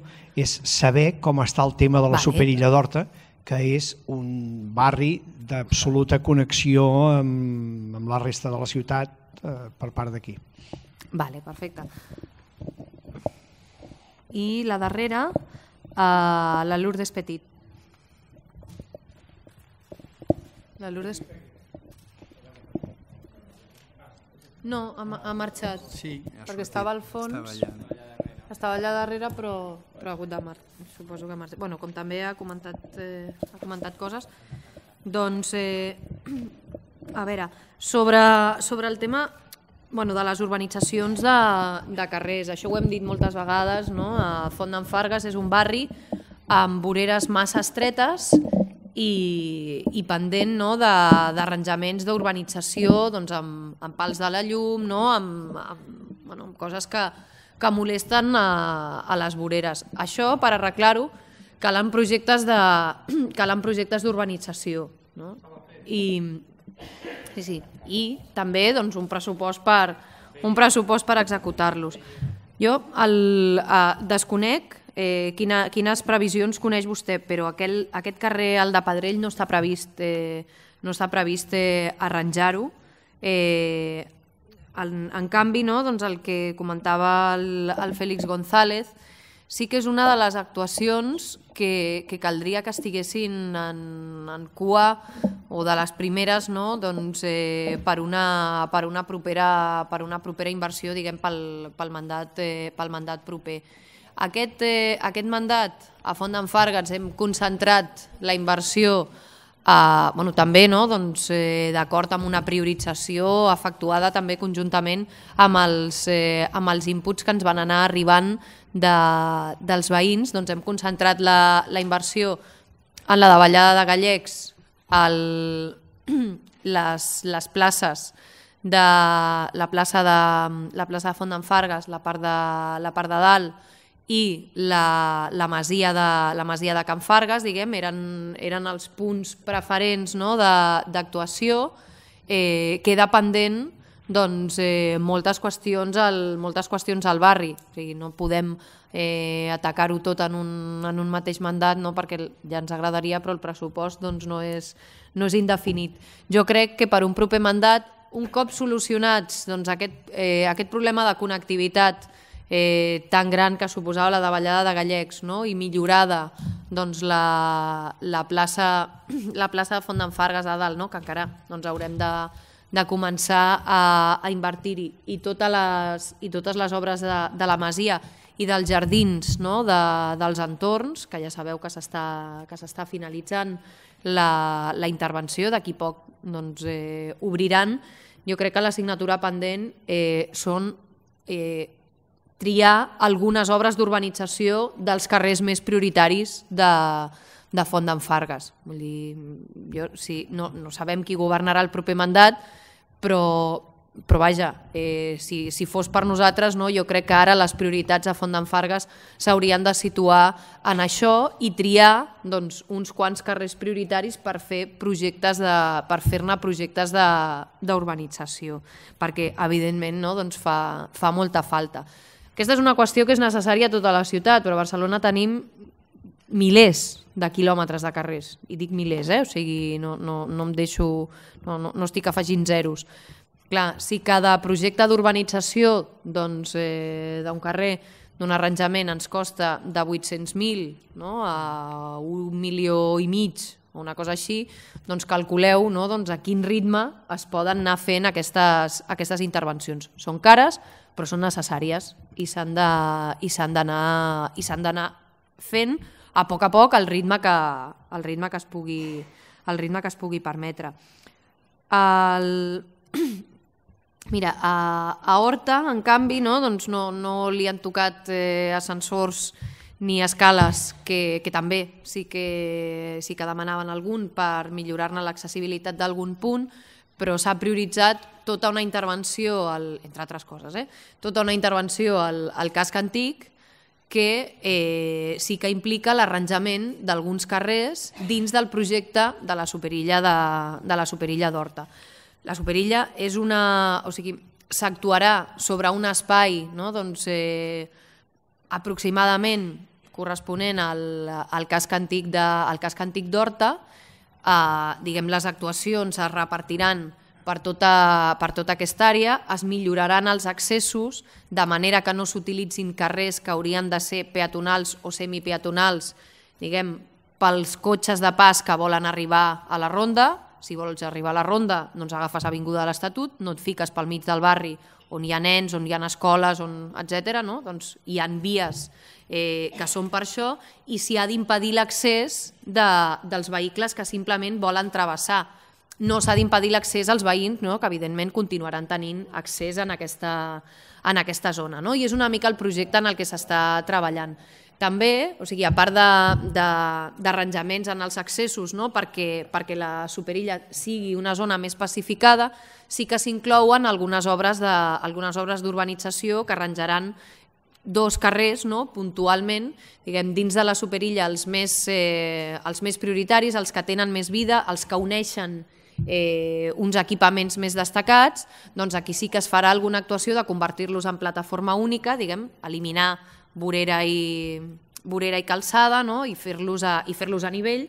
Són carrers més accessibles no? I, i per això s'ha doncs, treballat amb els veïns per triar com us deia abans, no? són obres cares, les urbanitzacions, doncs, per triar exactament quins són els prioritaris per fer una, per fer una actuació, per fer una actuació així.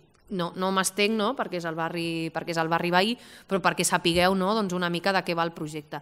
Una zona més àmplia no? d'actuació, eh, de pacificació en general, de canvis en l'aparcament i que conté també doncs, petites obres d'urbanització en llocs eh, escollits, també millores de la, en la vegetació, en, en l'arbrat i, i coses, i coses d'aquest eh, sentit. Uh, què més? El... Bueno, sobre el tema dels, dels gossos, uh, jo mm, discrepo de que l'Ajuntament té la paella pel mànec, perquè en aquest cas qui la tenen són els usuaris, eh, els, ai, els usuaris, els propietaris de gossos que han de tenir doncs, una educació i un civisme que no tenen i que no, i que no ve eh, i que no podem imposar únicament a base de multes que es fan. I de fet el que aquí hem explicat no, doncs és que de fet destinarem eh, recursos extras de Guàrdia Urbana per eh, multar els, eh, els, diguem, els, els, els, els amos incívics com també eh, els amos que maltractin algun animal. Ojo, perquè les dues, eh, les dues conductes són punibles. De fet, no? doncs, eh, una, encara, una, encara més que, una encara més que l'altra.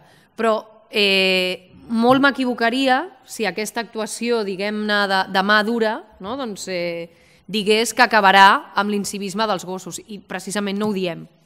No ho diem perquè no passarà.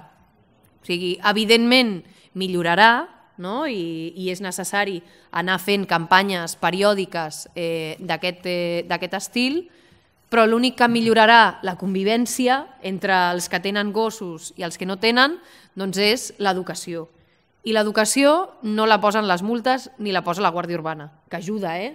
Ajuda, però no ho fa, no ho fa tot. No? I en això doncs, també, de fet, treballem no? doncs, amb diferents entitats eh, entitats de, de gossos perquè facin conscienciació entre els propietaris, etc. No? Doncs hi ha diferents campanyes al, al respecte. Però és una feina molt més a, molt més a, llarg, eh, a llarg termini. Eh, I no sé si em deix... Ah, lo, lo del 39? Comentem... Ah, vale. Vale. Sí. Jo crec que cada sis mesos quan ens veiem em pregunteu com queda al final el 39 i jo explico el mateix perquè no ha canviat.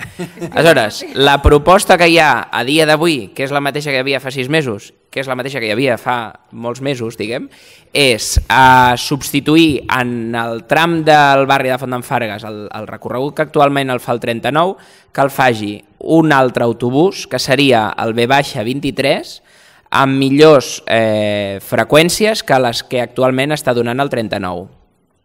Uh, totes les línies que són Bs baixes, Hs o Ds són les que configuren la nova xarxa, que bàsicament uh, són tot de línies o verticals uh, de Collserola a Mar, diguem, o horitzontals de Llobregat a Besòs, que creuen en forma de malla tota la ciutat per fer a desplaçaments més ràpids a, a, a, a, a tota la ciutat. Aleshores, aquestes línies estan posades eh, amb unes distàncies més o menys eh, eh, similars, diguem, per repartir-se en tot el territori. Uh, això a l'Eixample funciona molt bé i a Horta Guinardó pues, eh, és menys ortogonal la xarxa perquè els carrers són com són. Aleshores, a, a finals d'aquest any s'implantarà la última, la darrera de les fases de la nova xarxa de bus, que una de les modificacions serà que s'implanta el B-23 que farà el recorregut des del mar pujarà pel carrer Independència, tot recte, fins a Sant Pau, agafarà Cartagena fins a l'avinguda Mare de Déu de Montserrat eh, i des d'allà, Cartagena, Mare de Déu de Montserrat farà exactament el mateix recorregut que el 39. Tota l'avinguda Mare de Déu de Montserrat fins al Nen de l'Aro, Nen de l'Aro, Garriga i Roca, a Montserrat de Casanovas, fins a anar a buscar carrer Pedrell i girar cap a la Rambla del Carmel i cap a baix, cap a Horta.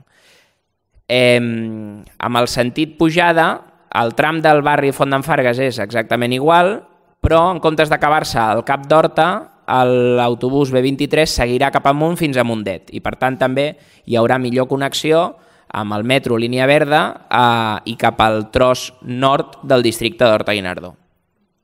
Des de Mundet agafarà l'Avinguda de l'Estatut amb sentit baixada, Avinguda de l'Estatut eh, entrarà pel Cap d'Horta, farà el carrer Lisboa, carrer Tajo, Maragall, Llobregós, exactament igual que fa el 39 ara, que això és una proposta que va fer l'Associació de Veïns de la Font d'en Fargues per no perdre la connexió entre Horta, l'eix comercial del carrer Tajo, el CAP, etc, el mercat, amb Font d'en Fargues. Inicialment la proposta era que el B23 entrés pel túnel i l'Associació de Veïns va proposar que es canviés i s'ha canviat la proposta.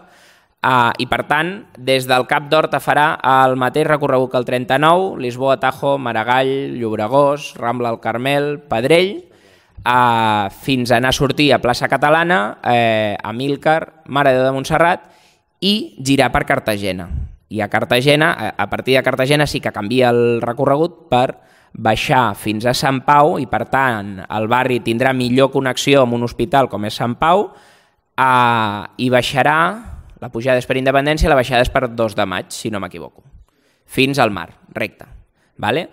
Eh, aleshores, aquest serà l'autobús que passarà pel barri i el 39 sí que eh, seguirà eh, fent servei d'autobús, seguirà passant pel barri, però sí que d'una manera més perifèrica, perquè el 39 farà el servei des d'Urquinaona fins a la plaça Catalana. Vale? Però pel barri passarà el B-23 amb unes millors freqüències que el 39 actualment, perquè les freqüències de nova xarxa són entre 8 i 10 minuts i per tant millorant el servei d'autobús que actualment dona el 39, que les freqüències no són eh, aquests 8 o 10 minuts. I així és com quedarà. De tota manera, al proper Consell de Barri, que ja hi haurà la data, ja hi haurà més informació, es farà una campanya específica d'informació perquè tots els canvis de línies i així afecten molt el dia a dia i per tant s'han d'explicar molt bé, quan es va posar en marxa l'última fase, ara a finals d'any, es va fer una campanya amb informadors i informadores al carrer, amb cartells de porteries en els barris afectats pels canvis i això ho tornarem a repetir. Per tant, tindrem ocasió de tornar a, explicar i a, i a plantejar diguem, aquests, aquests canvis com, com queden. I hi havia una darrera pregunta. Uh, de l'Alicia la, Brossa i quan acabin bueno, i quan acabi la pregunta, doncs, si hi ha algú més amb, amb alçada que vol intervenir, doncs també podeu aixecar la mà i, i ho comenteu. Alicia? Vale.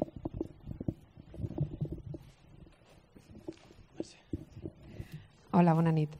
Mm, parlant del 39, també espero que el nou B, B baixa 23 sigui una mica més silenciós i sigui un autobús més modern perquè la meva queixa o suggeriment és que eh, el tram aquest del carrer Pedrell, des de que ve el, el tràfic des de Rambla Camel més endavant, els cotxes van a tota pastilla, els autobusos també.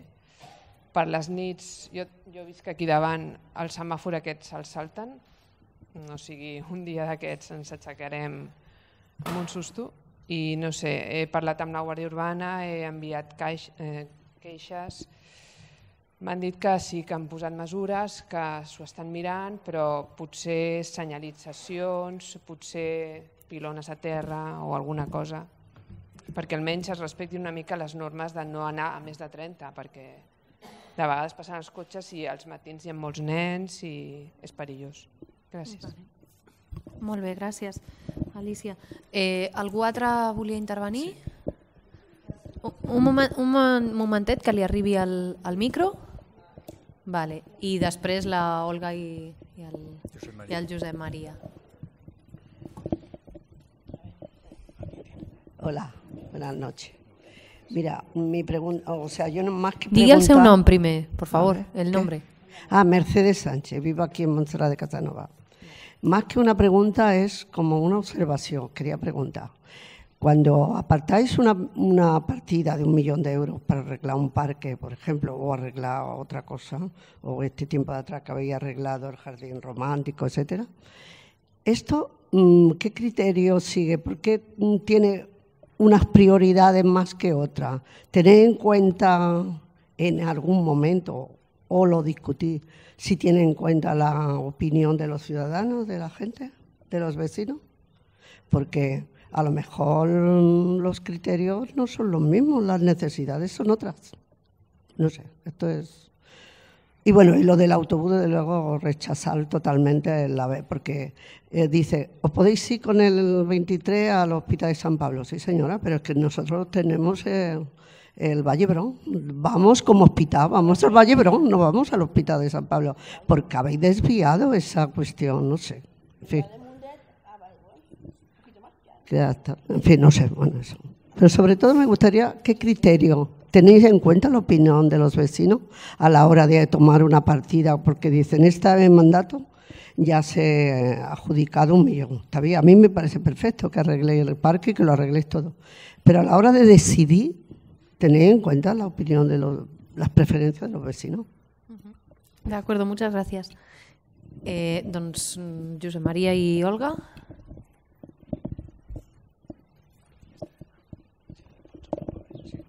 Sí, jo quan la, quan la senyora ha dit lo del 39 eh, he aixecat la mà després perquè eh, m'ha suggerit una cosa que és molt clara. El, jo vaig ser dels que em vaig oposar en l'àmbit de l'associació de veïns en la instal·lació del semàfor, etc. Bé, ara hi ha els semàfors, la cosa funciona, etc. Però, però la baixada de Canonge Almera fins al passeig de la Font d'en Fargues és que clar, és tot el contrari de la pacificació dels 30 km per hora que els cotxes han d'anar. Si veuen que està verd, a qualsevol hora del dia, no diguem de la nit, van llançadíssims. Per tant, s'ha de posar una, un matalàs o una zona rugosa per, per reprimir això. No hi ha més remei.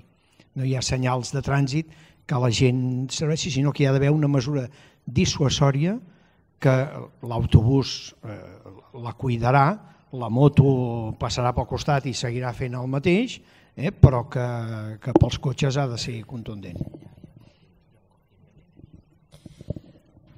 Vale. La Olga i també el, el Carles. Carles demanava. L'últim, bueno, Jo sóc propietària de gos, però, però també no m'agraden les cagades. Eh? I a davant de casa meva n'hi ha moltes. Llavors, això de la Guàrdia Urbana, a quina hora passaran? Perquè jo surto de casa, que són quarts de nou del matí, i hi ha les cagadetes allà. Ah, llavors, a quina hora? Perquè si passen a mig de matí, doncs no, ningú traurà el gos. I, no, I és molt difícil, és dificilíssim.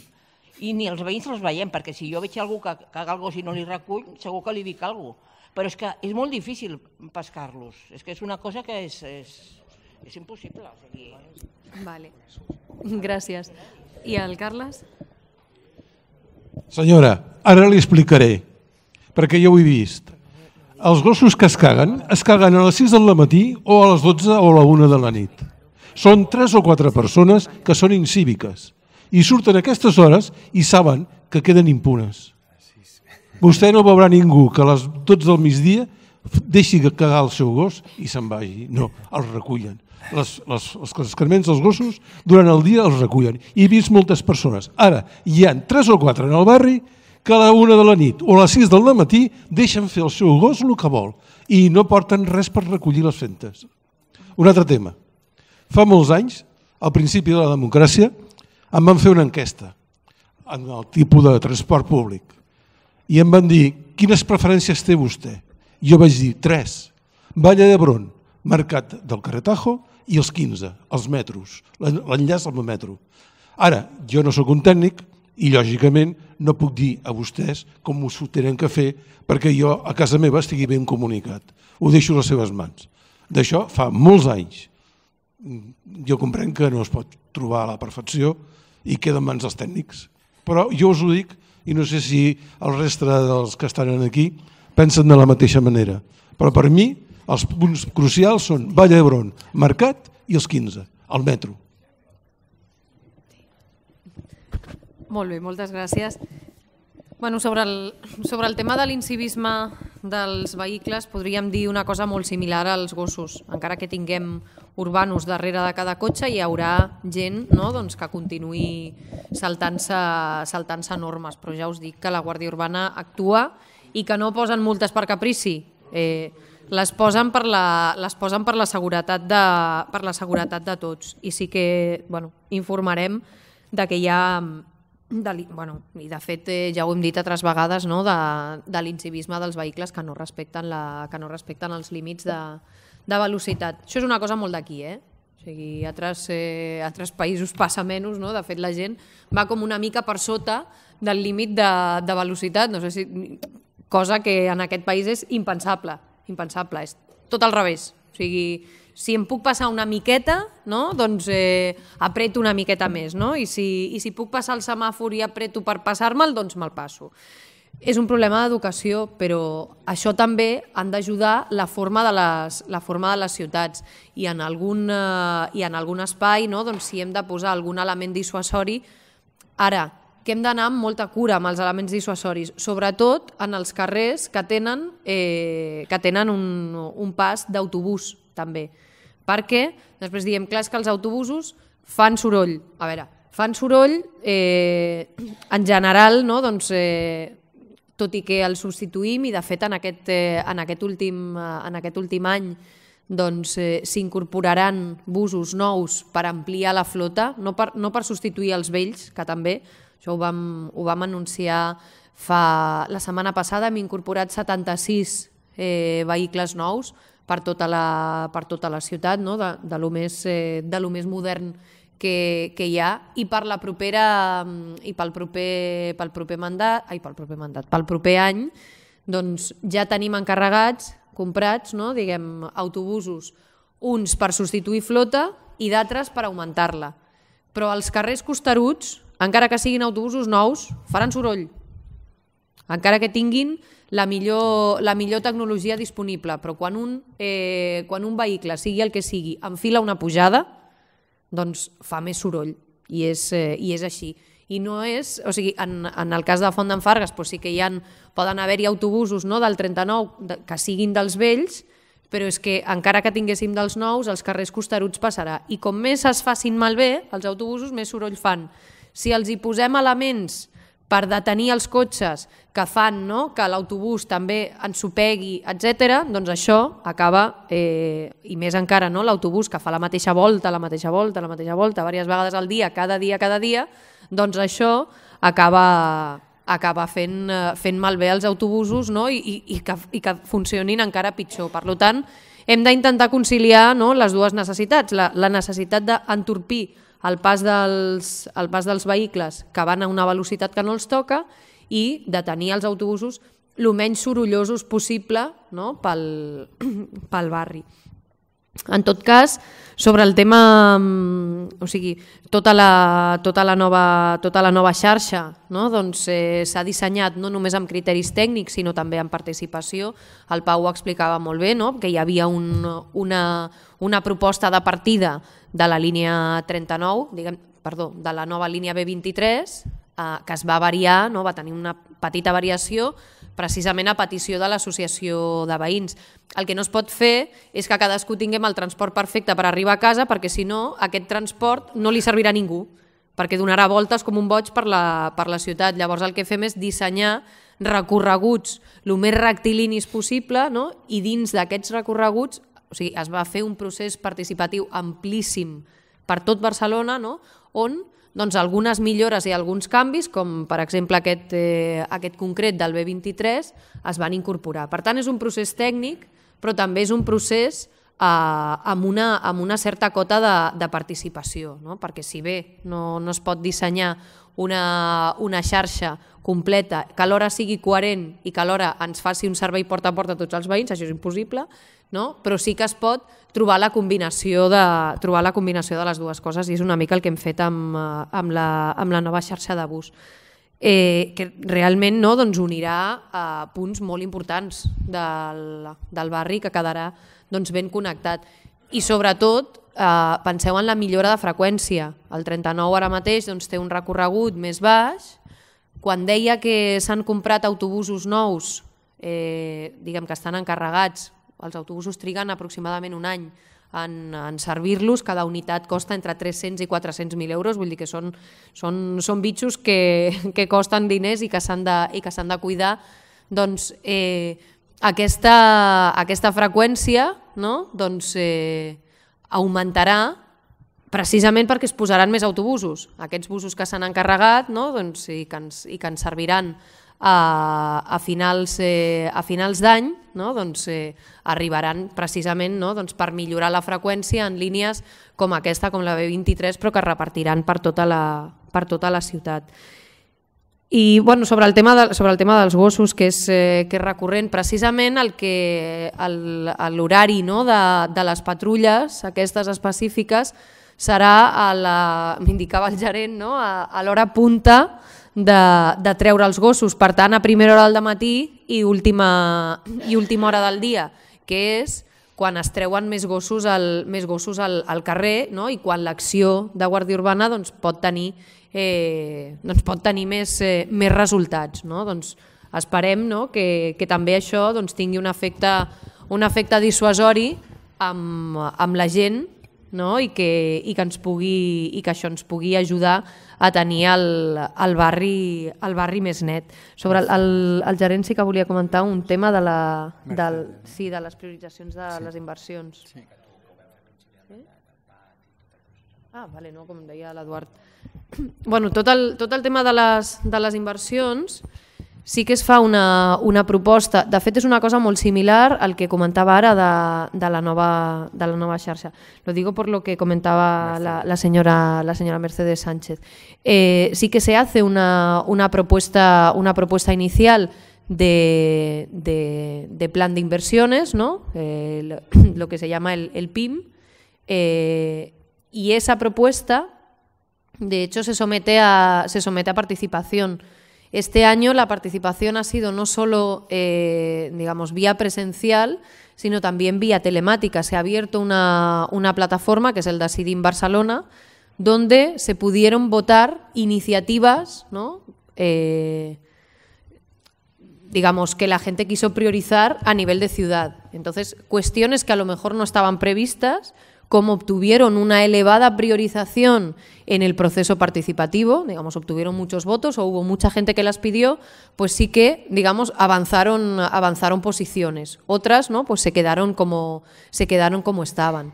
El, el, en, el caso de, en el caso de Fondan Fargas, ¿no? Pues sí que se hizo una también una, una, participación específica y todas, las, y todas las inversiones que se van a hacer aquí en este mandato o que se han hecho, o que se han hecho ya eran demandas, eh, eran demandas vecinales muy concretas. Claro, el problema es que no las podemos acometer todas a la vez, ¿no? pero tanto solucionar la, solucionar la conectividad en Davallada Gallecs como terminar la masía de, la masía de, mm, de Fondanfargas, sus jardines ¿no? y, y, la plaza de, de Fondanfargas, eran demandas más que históricas, ¿no? que de hecho eh, ya incluso durante la campaña electoral pues los diferentes eh, colectivos formularon específicamente para el barrio de Fondanfargas. Entonces, o sea, su respuesta, eh, digo, la respuesta a su pregunta es sí, efectivamente sí que se hace una... ¿Perdón?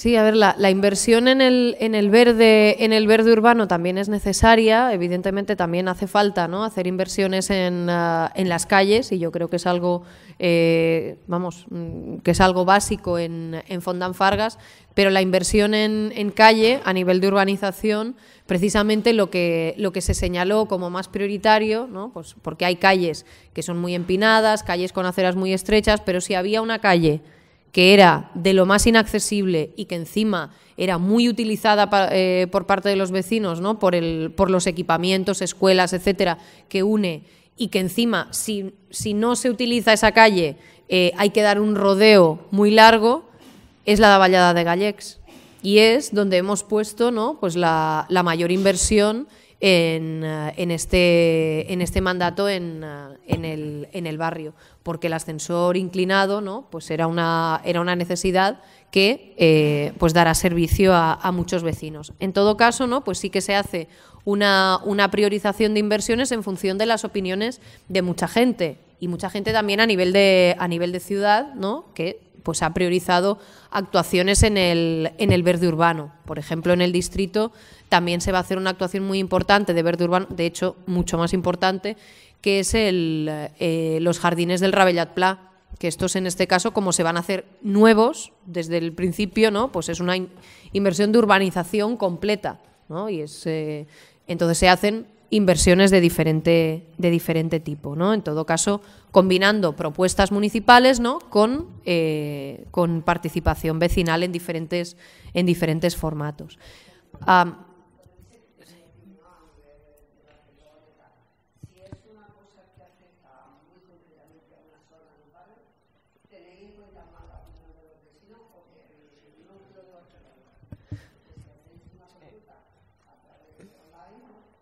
No, no, es que se, hace, se hacen las dos cosas. Se hace participación presencial y se hace, y se hace participación online. De hecho, lo de online ha sido una, una novedad de este mandato y se han recibido muchísimas aportaciones, eh, pero de hecho se han hecho reuniones como esta que estamos haciendo hoy eh, y empezamos el mandato precisamente hablando con la Asociación de Vecinos, no, no la de otro sitio, sino la de aquí, de Fondan Fargas, para que nos trasladara cuáles eran ¿no? las, las prioridades, de, las prioridades del, del, barrio. Que la asociación de vecinos tenía más, por supuesto, ¿eh? o sea, y las demandas son y las demandas son, uh, son largas. La lista es eh, la lista es larga, ¿no? Pero la priorización sí que se establece con los, con los vecinos del, del barrio. Bueno, en tot cas, doncs, eh, mira, estem arribant a les 9, no? doncs, eh, moltes gràcies per la, per la participació de, de tothom. Si pot ser, me la diu ara, me la diu ara vostè perquè agafa tothom aixecant-se i jo crec que no, no, no, no els hi acaba de... No, no, miri, és que a més m'estan dient que a les 9 hi ha una activitat en aquesta sala. Sí? I en, de fet ja anem, ja anem tard. Que... Perdoni, perdoni, perdoni, és que hem de, hem de plegar, que no ho he dit, perquè hi ha una activitat a la sala. Vinga, moltes gràcies.